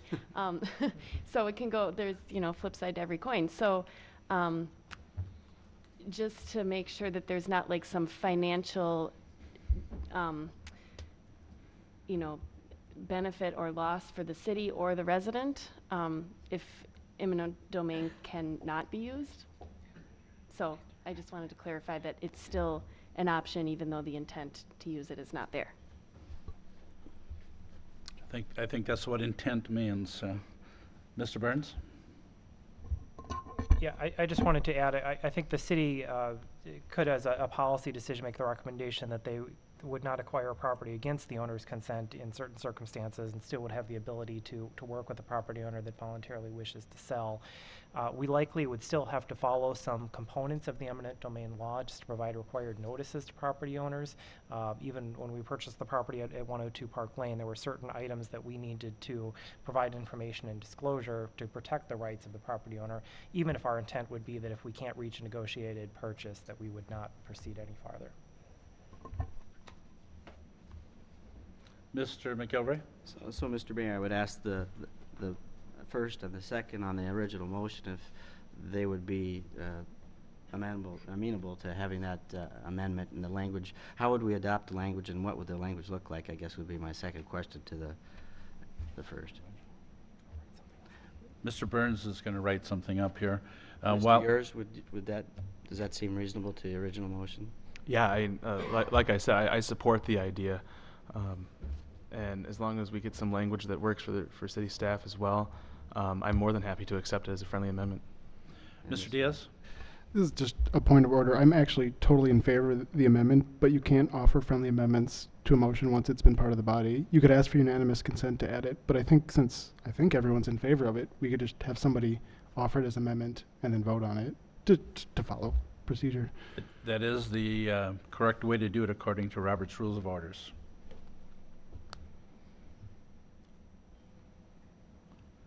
Just give Bill a, the cameras are on Bill, all eyes are on Bill. Well, I'll save a little time later if it's all right, Mr. Mayor.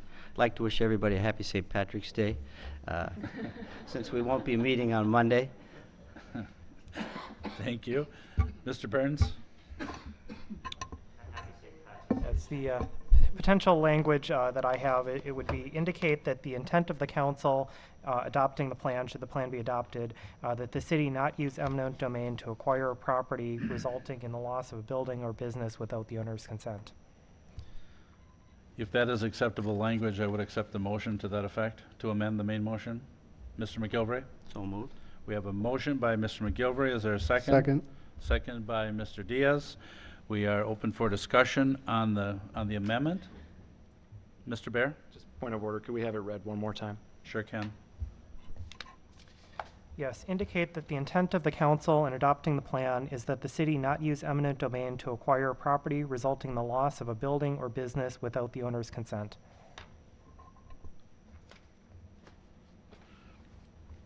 You've heard the motion, you've heard the second, we've had discussion. This is on the amendment to the main motion. All those in favor signify by, Mr. Manley, I'm sorry. Mr. Manley? Um, just, I don't want to complicate things. I th- think we spent a lot of time on this, but I think this is worth getting right.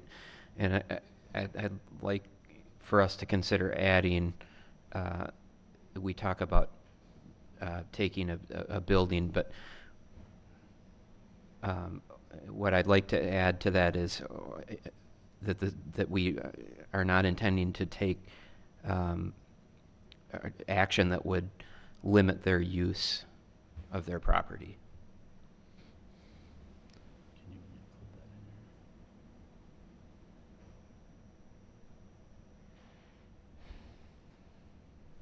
Because I I think it- it's very possible for a government to use eminent domain to do something that renders the use of somebody's property essentially useless, even if you're not tearing a building down.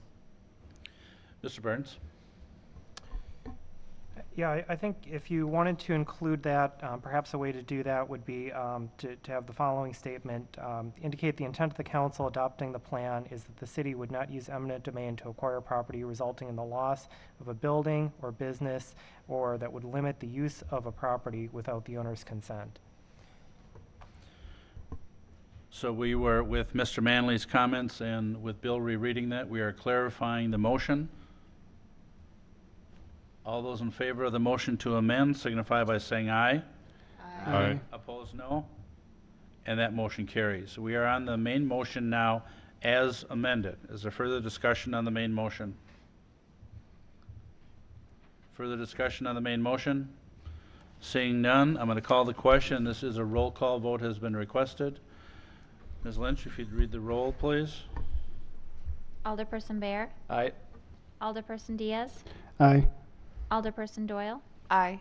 Alderperson Manley. No. Alderperson McGilvery. Aye. Alderperson Reekie. Aye.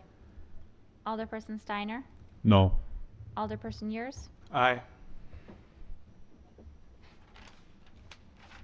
And the motion passes on a six to two vote, and we'll let the minutes reflect that Mr. Manley and Mr. Steiner voted no. The motion passes. Thank you, Jason. We appreciate all the, the work you've done on this. Mr. Yurs? Thank you. Um, on the long-awaited 9A2. Um, This would be a resolution R-14-005 approving a conditional use permit to allow for the expansion of the Wisconsin Brewing Company's outdoor seating patio area located at 1079 American Parkway. Um, and I want to reserve my motion uh, for after the discussion. Okay. Thank you. So if I may just go right into the. Go ahead. Thank Mr. you. Mr. Yurs.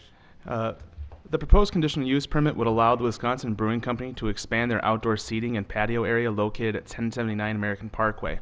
In October of 2012, the city approved the site plan to, re- to construct the brewery and a conditional use permit allowing an outdoor seating and patio area. To provide better use of the outdoor space, the applicant is requesting to expand the outdoors, the outdoor to allow for outdoor se- special events, music, and entertainment. The brewery has requested the following hours of operation for the outdoor area. Sunday through Thursday, allow music between the hours of 8 a.m. and 10 p.m., with outdoor operations ending at 11 p.m. And Friday and Saturday, Friday and Saturday, allow music between the hours of 8 a.m. and 11 p.m., with outdoor operations ending at midnight. Uh, the Plan Commission has uh, discussed this. Um, with, along with some public comment, uh, the Plan Commission held a required public hearing on March 3rd and recommended approval of the conditional use permit with the following conditions. First, that the outdoor patio fencing shall be a minimum of 48 inches tall. Second, the alcohol consumption shall be limited to the fenced area as shown on the site plan or inside the brewery, and all areas where alcohol is consumed shall be monitored by staff. Three, the fence and gate for the outdoor patio shall comply with the requirements from the fire department, police department, and building inspector. Four, the applicant, applicant and property owner agree to enter into a property use agreement with the city to allow for the use of the city property by the Wisconsin Brewing Company. Five, city staff will review the hours of operation each fall and determine if modifications are needed to the hours. If staff believes modifications are necessary, this permit can be amended by the common council without the need for a public hearing. At Six, hours Sunday through Thursday allow music between the hours of 8 a.m. and 9 p.m. with outdoor operations ending at 10 p.m. And seven, uh, yes, seven hours Friday and Saturday allow music between the hours of 8 a.m. and 10 p.m. with outdoor operations ending at 11 p.m. Thank you, Mr. Yurs. Go ahead. Um, we, we did have a lot of discussion on, on this particular item, and you know, I, I'm personally of the belief, you know, the brewery can hold these events through getting um, special event permits. And I'm, one of my big questions is, I'm wondering if we want to uh, have city staff and the brewery and elected as council and, and the uh, public safety committee to go through each event individually and have to vote on each of these events. Um, you know, we mentioned as we talked about downtown that we're a growing city, and I, and I think we're facing some growing pains, to be honest. Um, we have a business that's in, you know, not necessarily a traditional location for this kind of business, um, which I think offers, you know, a further look into the hours, but also a business that wants to hold different types of events that, you know, others like it um, really haven't done in Verona before. And at, at the Plan Commission, well, first starting out at, at Public Safety and then at Plan Commission, you know, I've asked city staff to look at the city ordinances that would be affected and see what the, what we need to do to make sure that you know we're not having to keep making exceptions after exceptions after exceptions. Um, but after speaking with uh, Mr. Nolan and, and the brewing company and with residents, I, I'm comfortable with giving the brewery the hours that they've requested. Um, and, and the linchpin for me is that uh, they're willing to come back and negotiate um, at the end at the end of the term at the end of the summer or even even sooner. Um, and I guess I would like to spell out a little more which city staff members would be involved with meeting with the brewery and residents, and, and that being the administrator, the planner, and the police chief, um, making sure that all the residents are part of it, um, but that also we're not necessarily handcuffing the brewery in what they need to do. Um, so I, I, I look forward to hearing some of the comments from the other alders tonight. Um, but I personally believe that you know we should give the brewery the hours that they're asking for, with the condition that we do revisit this again at the end of the summer. Thank you, Mr. Yurs. Uh, Perhaps before we have additional um, comments and questions, I'm going to ask Mr. Sayre and, and perhaps Mr. uh, Burns if you would respond to some of the questions that we had tonight during the, the uh, public comment portion. And um, I don't know, Adam, if you wrote down questions or not, but I, but I did. Did you I read have them, yes. If you want to respond then? Andy, can you turn the screen on? So the first question was, what is, what is the capacity of, of the patio? I don't think we have a, a, a hard number on that. Um, and that's something that'll be established by the fire department once it actually would be constructed as well. And, and Carl might be able to speak to that in the future, what their goal is. Uh, second question was, where will the patio be located? Uh, this is the actual site plan on, on the screen here. The line right here is the, the building itself. We have the parking in the front and American uh, Ways uh, on the north side of the property. The red line, this would be a, a gate uh, extending from the building to the water's edge. And then this red line in the back would also be a gate that would extend from the building and zigzag uh, east and then south also to the water edge as well. So that would be the, the outdoor space, the area in between these two red lines. And there's a small peninsula out here that juts out into the stormwater pond. Uh, where will the speakers be located? Uh, the brewery has agreed to point the speakers towards the northwest, that'd be towards the bypass, towards the Kwik Trip. Um, the stage would be mounted eh, or located in, in this general area here, and it would point uh, towards the northwest. Um, will where will people park? That's something that we've we've talked a lot about. That um, obviously there's an existing parking area in the front here. Um, we've talked about having that on-street parking. Uh, that's one of those, one of those things that when this was approved, uh, it was approved as part of it, looking at that on-street parking. I've talked to Carl about possibly adding a temporary lot in that location. Uh, they're open to that conversation, and uh, and but I think we all want to wait and see how this goes. The reality is where they would put that temporary lot would be immediately east of their existing facility. Their their long-term goal is to to expand uh, to the east. So that would be an expense that um, if we make them put it in, if it's not needed, uh, we're in a situation we just you know basically made them spend a couple hundred thousand dollars to put in a temporary lot that's not being used. So Carl has agreed to revisit that conversation. If issues arise, if there's a strong parking demand out there, we'll sit down, take a look at that again, and he's, he's agreed to do that. I know he's also spoken with some of the adjacent businesses as well, talking about if they can use some of their uh, parking lots in the weekend when those aren't being utilized. Uh, what will the decibel levels be? We don't measure decibel levels. Uh, we look at uh, sound at the property line, and we have a time that we cut it off. Um, that, that's in general how we look at it. It's easier to enforce that, to, to be honest. If you have a time when music stops, uh, you can tell the operator this is the time it has to stop. The PD knows what time it has to stop, and then we don't need people standing at the property lines with decibel readers trying to figure out are we dealing with wind conditions? Are we dealing with temperature temperature conditions? A set time is, is, is the easiest way of I've always found how to enforce this is just by having a time. It's easy to understand. Everybody gets it. Um, so no, we don't have uh, decibels on that. Will the fence, en- uh, will the fence enclosure, where is the fence enclosure in the area? I think I, I went through that one. Um, one thing that was noted at the planning commission, and I know there's concerns uh, from some of the residents, was possibly looking at fencing the entire pond. Staff is treating the, the water area as, as almost like a fence barrier. Uh, that is a wet pond, so pretty much unless we have a- a very significant drought period, that will be very wet at all times. It's, it's quite deep. Um, I think it's been, it's been wet ever since they dug it. So, um, we're treating that water area as part of the fence.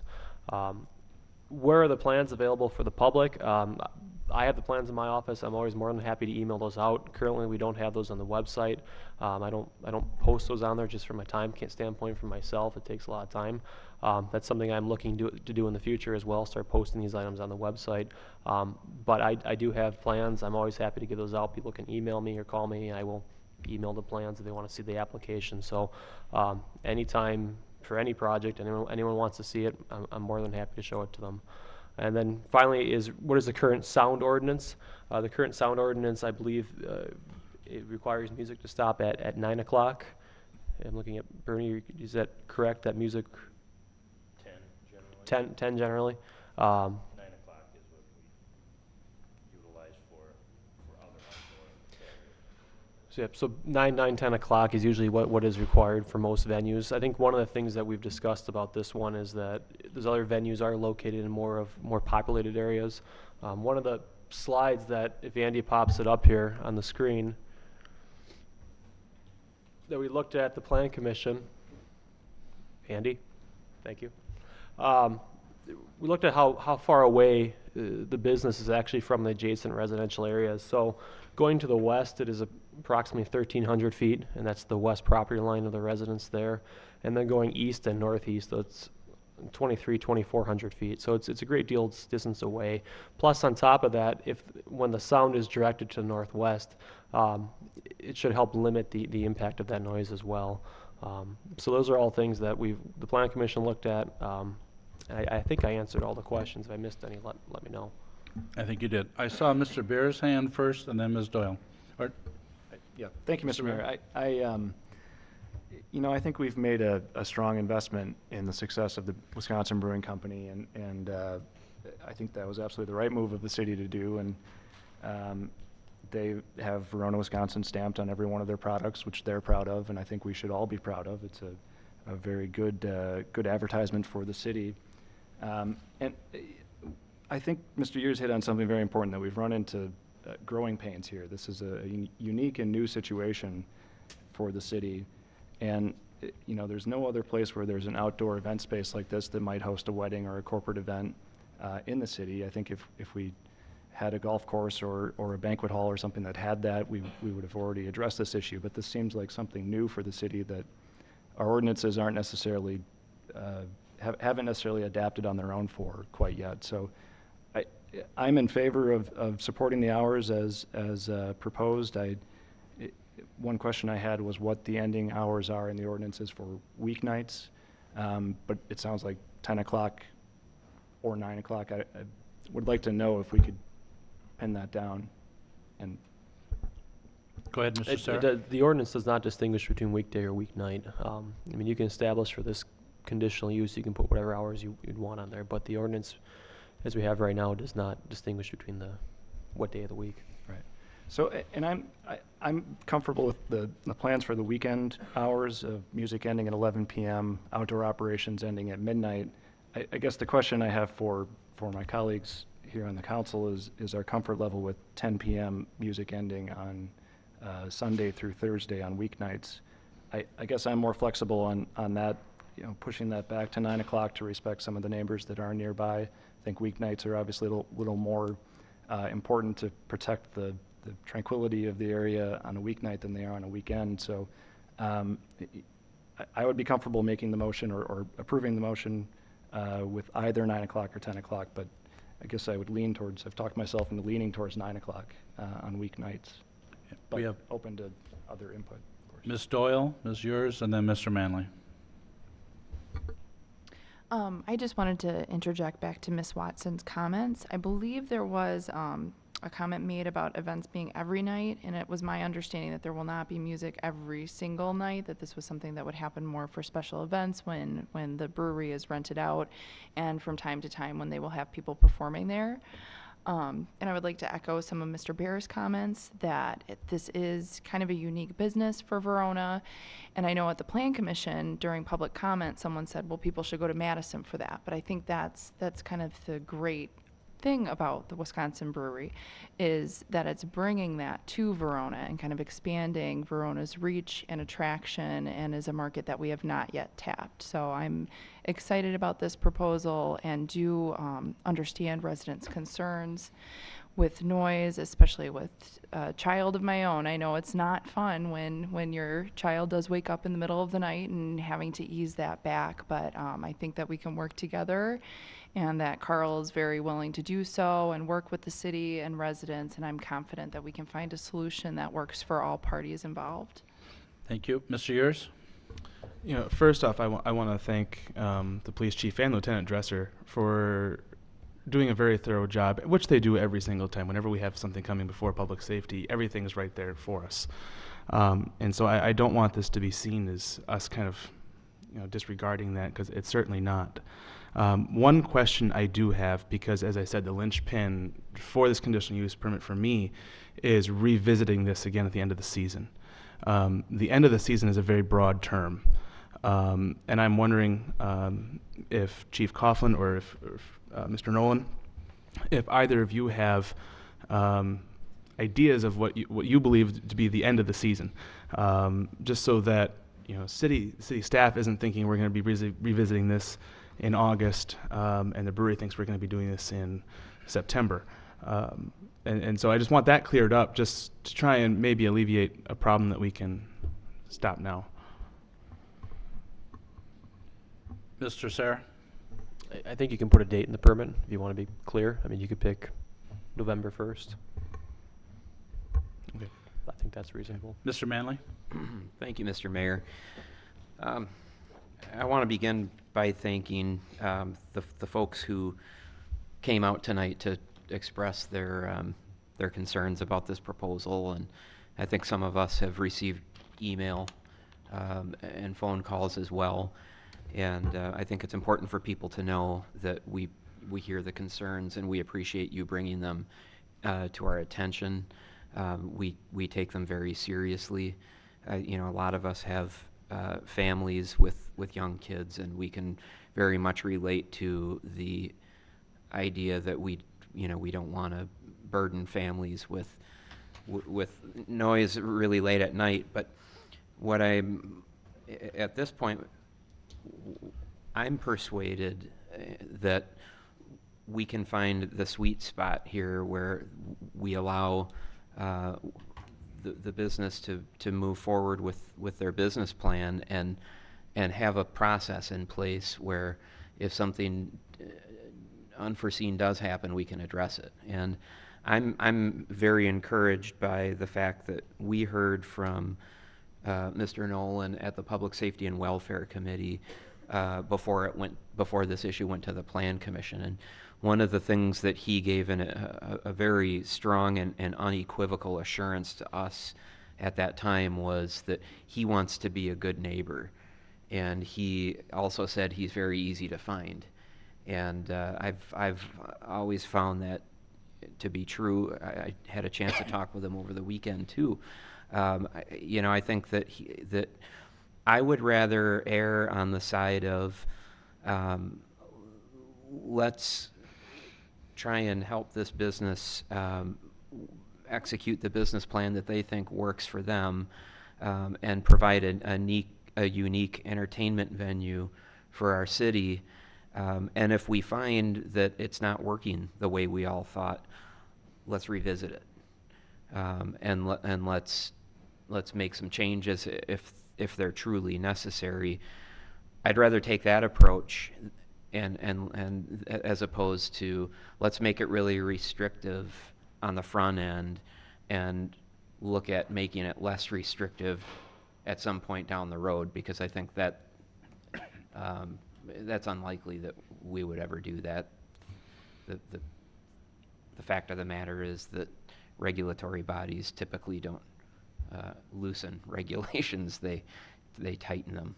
Um, and, and, so I, I, guess that would be my appeal to my, to my fellow alders. I, you know, I think we're all really excited about uh, having this business in our city. Uh, many of us, when, when this was, um, you know, first being discussed, uh, part of what made it exciting was that Mr. Nolen and his business partners were very clear that they wanted this to not just be a brewery but a destination, and that they wanted to make this an opportunity to bring people into our city who might not otherwise come here and see what we have to offer. And, and I, I, I want to help him be successful doing that.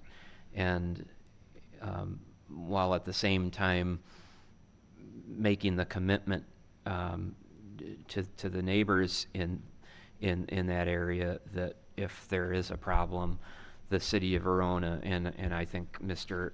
Nolen himself uh, will work with you to, to try and resolve them. Thank you. Um, I stated at the Plan Commission meeting that I was supportive of the hours that have been requested then. Um, Just, I, I just have to make a comment because I think, as I've been listening to the conversation this evening and when I listened to the Plan Commission meeting, um, so many times I- I hear Mr. Nolen referred to as Carl. We don't hear that a lot in, in the city when we're talking about businesses. In the short time that, that Carl has been here, um, he has wanted to become involved in the city. He has become involved in the city. Um, he has indicated all along that he wants to be a, a good partner and, and work with everyone in the community.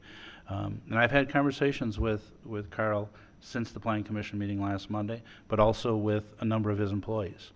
And every single person that is employed by uh, the cap, by Capital by Wisconsin Brewery um, has the same message that they that they want to be good neighbors. But I just want to make the point that more often than not, tonight and at other meetings, people are referring to him as as Carl, and that's that's really nice to see. So thank you for that. Other questions or comments, Mr. Diaz? Question or comment and then some questions. Um, I am also in favor of the, the requested hours that the, the brewery wants um, for a couple of reasons. One, because they're willing to revisit it. I don't I don't think we're gonna have any problems between the brewery and the police department. I think I'm, I'm fairly confident the brewery will work with the police department and with the neighbors to to make sure that this this does work out. Um, and then the other part of it that, that sets my mind at ease is that they're not going to have music every single night. I think I would have a little more concerns if, if it was going to be a 24/7 all the time concert venue. Um, and, and then of course we can't underestimate how important it is as an economic driver and a, a draw to the city as well. Um, and my question is, there's not a motion on the floor currently. There's Uh, not. Would perhaps Dale like to make one since he is on the planning commission? I'm not going to twist anyone's arms, but the, uh, we have the ability to make motions. Uh, yeah. Yurs? Yes, I, I, I will make a motion to approve the um, conditional use permit uh, for the Wisconsin Brewery with the following exceptions. Um, if I may, uh, one, the outdoor patio fencing shall be a minimum of 48 inches tall. Alcohol consumption shall be limited to the fenced area shown on the site plan or inside the brewery. All, ar- all areas where alcohol is consumed shall be monitored by staff. The fence and gate for the outdoor patio shall comply with the requirements from the fire department, police department, and building inspector. Four, the applicant and property owner agree to enter into a property use agreement with the city to allow for the use of city property by the Wisconsin Brewing Company. Five, that city staff, including the administrator, planner, and police chief, will review the hours of operation and on November 1st to determine if modifications are needed. Actually, let me rephrase that, no later than November 1st. Um, to determine if modifications are needed to the hours. If the staff believes that modifications are necessary, this permit can be amended by the Common Council without the need for a public hearing. And that six hours Sunday through Thursday allow music between the hours of 8 a.m. to 10 p.m. And seven hours Friday and Saturday allow music between the hours of 8 a.m. and 11 p.m. We have a motion by Mr. Yurs uh, with the conditions that he uh, laid out. I'll second. We have a second by Mr. Bear. We are open for discussion on the motion. Mr. Burns? Yeah, just wanted to uh, raise the question of when outdoor operations would end. Uh, That was also included in conditions six and seven. We may want to address that as well. If, For example, uh, music, I think the intent would be if they would have music ending at 11, that operations would end at midnight, for example. Sunday through Thursday operations ending at 11 p.m. and Friday and Saturday operations ending at midnight. Thank you for that clarification. Further discussion on the motion? Seeing none, I'm sorry, Ms. Doyle? Um, just for clarification purposes, Mr. Yurs, is the, the, um, exception to not have a public hearing, is that just for ease of being able to modify the arrangement? Mr. Yurs? I'm comfortable with ta- with uh, having the public hearing, but yeah, I, I think so. Because that Uh, would but, require, Um, and, and I, I, I would actually um, like it when city staff reviews that, that the residents in that neighborhood are, are part of that discussion as well. Mr. Sayre, if you would. Sure, I, I put that in there. Uh, I was just trying to clarify so there wasn't a question um, of yes or no because a lot of times these come back and it's, do you have to do one? Do you, do you not have to do one? Um, but that that's the reason why it was in there because of because of me. Further questions, comments on the motion? Seeing none, all those in favor signify by saying aye. Aye. Opposed, no. And that motion carries. Mr. Yurs? Thank you. Under 9A3, um, I'd like to make a motion to approve Resolution R-14-006, approving a, approving a precise implementation plan for a planned unit development located east of Enterprise Drive, west of Reddan Soccer Park, and north of Cross Country Road to allow for the construction of 76 apartment units. Mr. Yurs, did you make that motion? Yes. Okay, motion by Mr. Yurs, is there a second? Is there a second? Second. Seconded by Ms. Doyle. Mr. Yurs? Thank you. The applicant has submitted a request for a planned unit development precise implementation plan review. This request is the final step in the planned development process. The developer is proposing to construct phases one and two of the Murray Glen apartment project. The proposed P- proposed PIP will allow for the construction of 76 market rate apartments, units located east of Enterprise Drive, west of Reddan Soccer Park, north of Cross Country Road. The proposed units would be located in three buildings that include both underground and surface parking. The Plan Commission held the required public hearing on March 3rd, 2014, and recommended approval of the PIP with the following conditions. First, that prior to the issuance of building permits, the applic- applicant shall submit a revised erosion control plan, stormwater management plan, and public street improvements for city staff review and approval. And two, prior to the issuance of building permits, the developer shall enter into a developer's agreement with the city. And I would um, have those conditions put on to the motion. So that was just checking. And Ms. Doyle, that's acceptable? We have a motion, we have a second. Is there any discussion on the motion? Any discussion, Mr. Yurs? Um, at, at Plan Commission, um, most comments were favorable. Um, there was public comment made um, in opposition to the apartments, um, saying that we do have too many apartments and uh, things of that nature. Um, having looked, they, they did bring samples of building material, which all seemed um, to work with, with the development.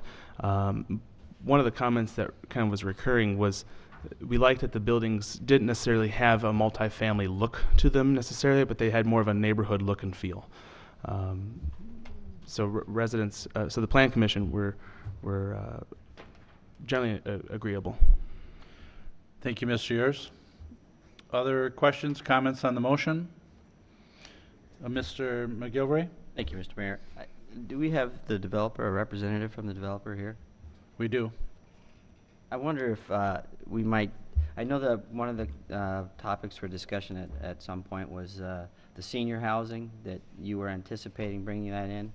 Um, I- I'm wondering if you could address that a little bit. One of the questions I've had and other people have asked me is when you might anticipate those, uh, those, or that part of the parcel uh, being developed. Seems to be a- quite a bit of interest for that type of Yeah, there certainly is. Hi, I'm Gary Bunce. I spoke with everybody months ago. Um, regarding the senior housing, the phase one and phase two first, and we're currently under um, discussions with the financial institutions to provide the wherewithal um, for phase one and two. And then um, our intent is to skip phase three and go to phase four. As far as the timeline, uh, my understanding is the sooner the better, and, and quite frankly, we would like to do it that way as well. Uh, I think part of it would depend on putting the infrastructure in, seeing how well the fir- phases uh, one and two rent up, And then um, our initial intent is to go right to phase four. Thanks.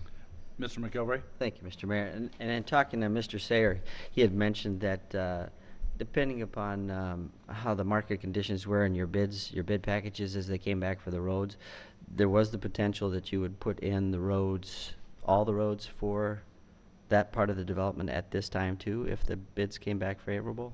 Great question. The bid um, package went out, I believe, last week, Wednesday, and an amendment or some other information went out today. I start meeting with them tomorrow Okay. at 9:30. Um, My personal preference would be to take the paint all in one hit and just get it done. Um, Because, it, uh, you know, it is more expensive, but over the long term, I think it's going to be uh, more reasonable. We don't have to mobilize equipment twice, disrupt, pay for two moving fees, et cetera, et cetera. So um, I, I would like to answer the question, but I really can't without actually seeing where the numbers do come in at. But um, the reality of it is, if we can do it in one step, that's the path we'd like to take. In addition to that, it also makes it easier for us to get to phase four, because it is that northeast corner of the project that we most likely will need the road, that portion of the road in for, um, uh, develop, or to get access, whatever, um, for phase four. Thank you, and, and I realize that you didn't have them back. I just, I like to ask the question to Yeah. get the intent. It's always nice to have it on public record. Sure, thank you. So I appreciate the answer. Thank you. Thanks. Thank you. Mr. Yurs? Um, kind of in that same vein, I believe the question was asked at the Plan Commission as well. Um, but I just want to make sure these streets are going to be public streets, correct? And not Yes. privately? Perfect. Further questions, comments? Mr. McGilvray? And, and this would not be for the developer, this is more for Adam. Um, Adam, I wonder if you could just speak to, uh, the quantity, so we're using seventy-six, uh, where does that put us, uh, moving forward for other developments that might come forward? I, I, and I recognize that the senior component is not part of that number. Sure. So the, the phase one has 50 units in it, phase two has 26, and phase three would have 32. The phase one allocation, uh, that was allocated 2013, and that was for 50 units, and that took up the entire 2013 allocation. The phase two was allocated for 2014, took up 26 out of the 50 units. And phase three was allocated for 2015 and took up that 32 out of the 50. So right now, uh, phase two will take approximately half of what's in that residential phasing policy. Phase three will take roughly over half, and then phase four, as you said, would not count uh, towards that residential phasing policy. Thank you, and I just asked the question for the public because we do get questions about that.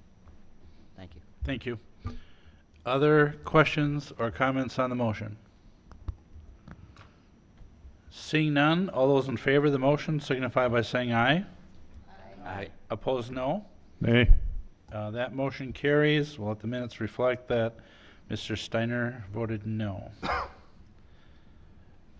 Mr. Yurs? Thank you, Mr. Mayor. Under 9A4, I'd like to make a motion to approve Resolution R-14-007, approving the preliminary plat for the Prairie Oaks Second Edition located east of Enterprise Drive, west of Reddan Soccer Park, and north of Cross Country Road to allow for the creation of six lots and three outlots. We have a motion by Mr. Yurs. Is there a second? Second. Second by Mr. McGilvray. Mr. Yurs? Thank you. The applicant has submitted a request for the preliminary plat to create six lots and three outlots with the Prairie Oaks Second Edition plat. The proposed lots will contain the individual apartment buildings and, fe- and future senior housing complex. Outlots one and two will contain a future bike and pedestrian path. Outlot three will be dedicated to the city for stormwater purposes. The Plan Commission reviewed the preliminary plat at the March 3rd, 2014 meeting and recommended approval. Thank you, Mr. Yurs. Are there questions or comments from the council? Questions or comments? Seeing none, all those in favor of the motion signify by saying aye. Aye. Opposed, no. And that motion carries. Mr. Yurs? Thank you. Under 9A4, uh, 5, I'd like to make a motion uh, to approve Resolution R-14-007, approving the final plat for the Prairie Oak Second Edition located east of Enterprise Drive, west of Reddan Soccer Park, and north of Cross Country Road to allow for the creation of outlot six, six outlot, six lots and three outlots, excuse me, with the condition that the city engineer shall review and approve the final plat. We have a motion by Mr. Yurs. Is there a second? Second. Second by Mr. McGilvery. Mr. Yurs? Um, This is much, much like the second one, or uh, the one right before. The applicant has submitted a request uh, for the final plat to create six lots and three outlots with the Prairie Oak Second Edition plat. Um, The Plan Commission did review the final plat at the March 3rd, 2014 meeting and recommended its approval. Thank you, Mr. Yurs. Questions or comments on the motion? Questions or comments? Not seeing any. All those in favor signify by saying aye. Aye. Opposed, no.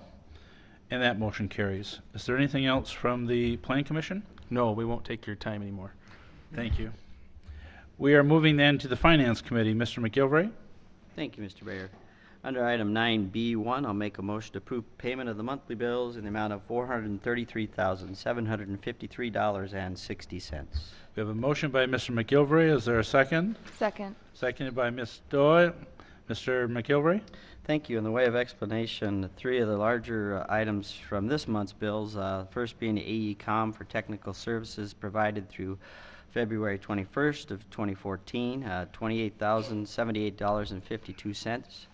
Uh, Second, uh, we would have a payment to the Bond Trust Services Corporation for refunding of bonds Series 2 2013A. That is $196,584.03.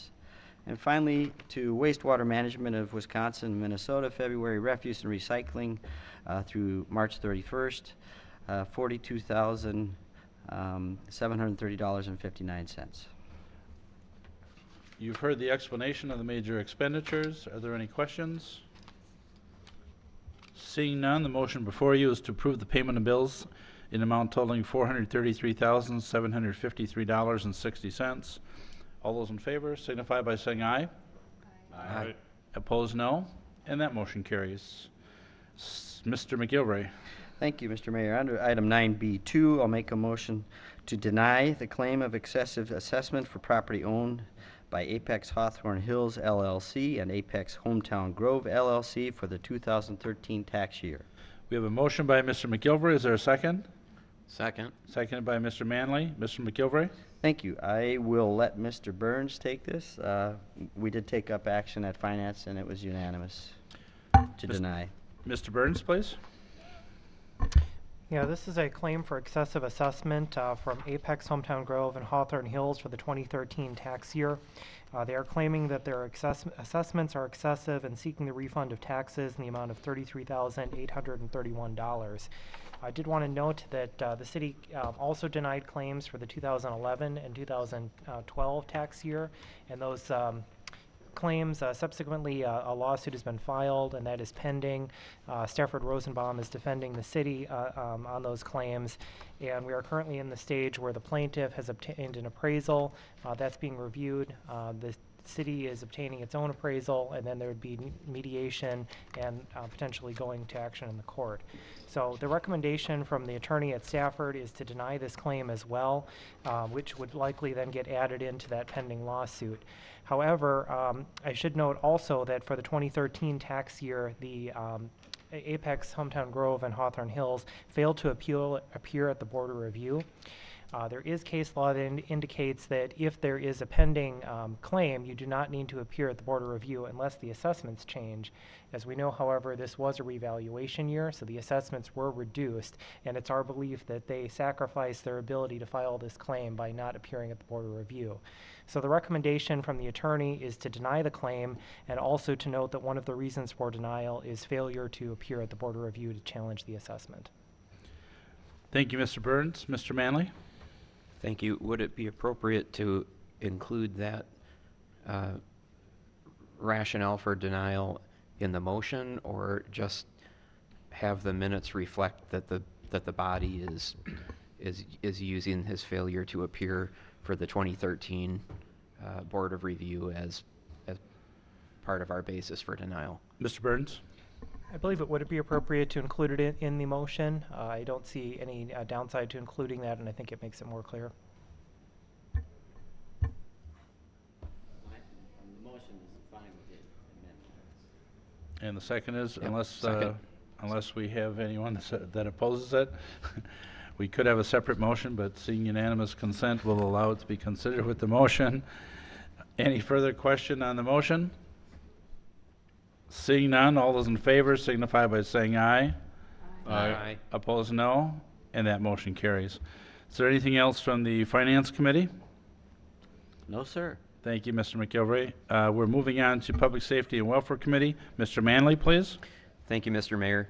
Um, Under item 9C1, I'll make a motion to approve an application for a Class B beer and a Class C wine license for Brews Brothers Pub located at 611 Hometown Circle with Stephen Day as the agent. We have a motion by Mr. Manley. Is there a second? Second. Second by Mr. Bear. Mr. Manley? Thank you, Mr. Mayor. Um, I I think a lot of us know that the, that the Brews Brothers Pub uh, is, is coming to town. Uh, They're seeking um, not a hard liquor license, but just beer and wine um, for what will uh, primarily be a restaurant that serves uh, gourmet hamburgers. And uh, we discussed this at the Public Safety and Welfare Committee uh, previously and gave it our unanimous recommendation, and we hope that you all will uh, give it your approval as well. Thank you, Mr. Manley. Mr. McGilvery? Thank you, Mr. Mayor. Would you uh, have the record reflect that I will be abstaining from this vote? I work for the company that's building the building that Brews Brothers is in. We will have the minutes reflect that. Questions, comments on the motion? Seeing none, the motion before you is to approve the application. All those in favor signify by saying aye. Aye. Aye. Opposed, no. Motion carried, and the minutes will reflect that Mr. McGilvery abstained. Mr. Manley? Thank you, Mr. Mayor. Under item 9C2, I'll make a motion to approve an application for a temporary Class B beer license for the Verona Mud Fest to be held on Saturday, May 17th, uh, 2014, from Mike O'Brien of Ice Inc. We have a motion by Mr. Manley. Is there a second? Second. Seconded by Ms. Reekie. Mr. Manley? Thank you, Mr. Mayor. I think many of us are very familiar with this event, which has been taking place for a number of years in our city. Uh, It's a great event, a lot of fun, and it, it raises money for a good cause, which is our youth hockey program and, and, um, and ice arena at, at the Eagles Nest. And um, I'm very excited to hear at the, at the public hearing that they're anticipating between a 1,000 and, and 1,200 participants this year. And um, I think that's, that's a great thing that we, it- it's a great thing that we attract that type of, of an event to our city. And um, I, we gave our unanimous recommendation uh, earlier today, and I, I hope that we can get uh, a, a similar vote here this evening. Questions or comments on the motion? Seeing none, all those in favor signify by saying aye. Aye. Opposed, no. And that motion carries. Mr. Manley? Thank you, Mr. Mayor. Under item 9C3, I'll make a motion to approve ordinance 14-840, which amends section 27 of chapter 1 of title 10 of our Code of Ordinances, motor vehicles and traffic, parking prohibited zones, to prohibit parking on American Way between County Highway PB and John P. Livesey Boulevard. We have a motion by Mr. Manley. Is there a second? Second. Seconded by Mr. Yurs. Mr. Mr. Manley, please. Thank you, Mr. Mayor. This, uh, this item, or this proposed ordinance would um, restrict parking on both sides of the street along um, um, American Way. Or is it? Yes, American Way. And it's, it- it's, the the concern was brought to the council by Latitude uh, Corporation, and the concern was that if there's parking uh, on American Way near their, uh, the area where their um, delivery trucks um, are coming and going, that it, it creates a traffic problem. So the, the solution was to prohibit parking on that sub, uh, segment of, of American Way um, a- and ease that congestion problem. And at the same time, the, the feeling was that it would not um, unduly burden um, parking at, at other adjacent property owners. So we gave our unanimous recommendation again and, and ask for your support this evening. Thank you for that explanation. Questions or comments on the motion? Seeing none, all those in favor signify by saying aye. Aye. Opposed, no. And that motion carries. Is there anything else from Public Safety and Welfare Committee? Nothing further, Mr. Mayor. Thank you, Mr. Manley. Uh, We are moving then to new business. We have discussion and possible action regarding approval of operator licenses. Ms. Lynch, please. Tonight, we have operator licenses from Travis Murray at Prairie Oak Citgo, Stephen Caldwell at the Draft House, and William Faust at Wildcat Lanes. You've heard the list of the applicants. What's your pleasure? Move to approve. We have a motion by Mr. Bear. Is there a second? Second by Mr. Yurs. Any questions or comments? Seeing none, all those in favor of approval of operator licenses signify by saying aye. Aye. Opposed, no. And that motion carries. We are on to agenda item number 11, which is announcements. Do we have any announcements this evening? Mr. Steiner? Uh, Thank you, Mayor. Uh, We will have a senior commission meeting tomorrow night, the 11th, and it'll be at the senior center at 5:30 with our new director, Mary Hanson. Um, So it's been a a year since we've had a meeting, so seems like a long time. Uh, Next week, uh, on the 19th, the Verona Historical Society will host uh, another fun adventure with local schools that occurred many years ago. It will start at uh, 3 p.m. at the Senior Center on the 19th. Bye Bye Birdie will be landing in Verona next month, April. The tickets are on sale already by the Verona Area Community Theater at vact.org or 845-VACT. Thank you. Thank you, Mr. Steiner. Any other announcements? Ms. Reekie? Just wanted to announce another event um, on March 12th at 6 o'clock at City Hall Park Planning Meeting for Cathedral Point Park, which has been moved up a year. Um, Will be pla- taking place on Wednesday, March 12th. Thank you. Other announcements this evening? Seeing none, a motion to adjourn would be in order. So moved. We have a motion by Mr. Manley, seconded by Mr. Diaz. All those in favor of adjournment signify by saying aye. Aye. Opposed, no. Motion carried, and we are adjourned. Thank you, everyone.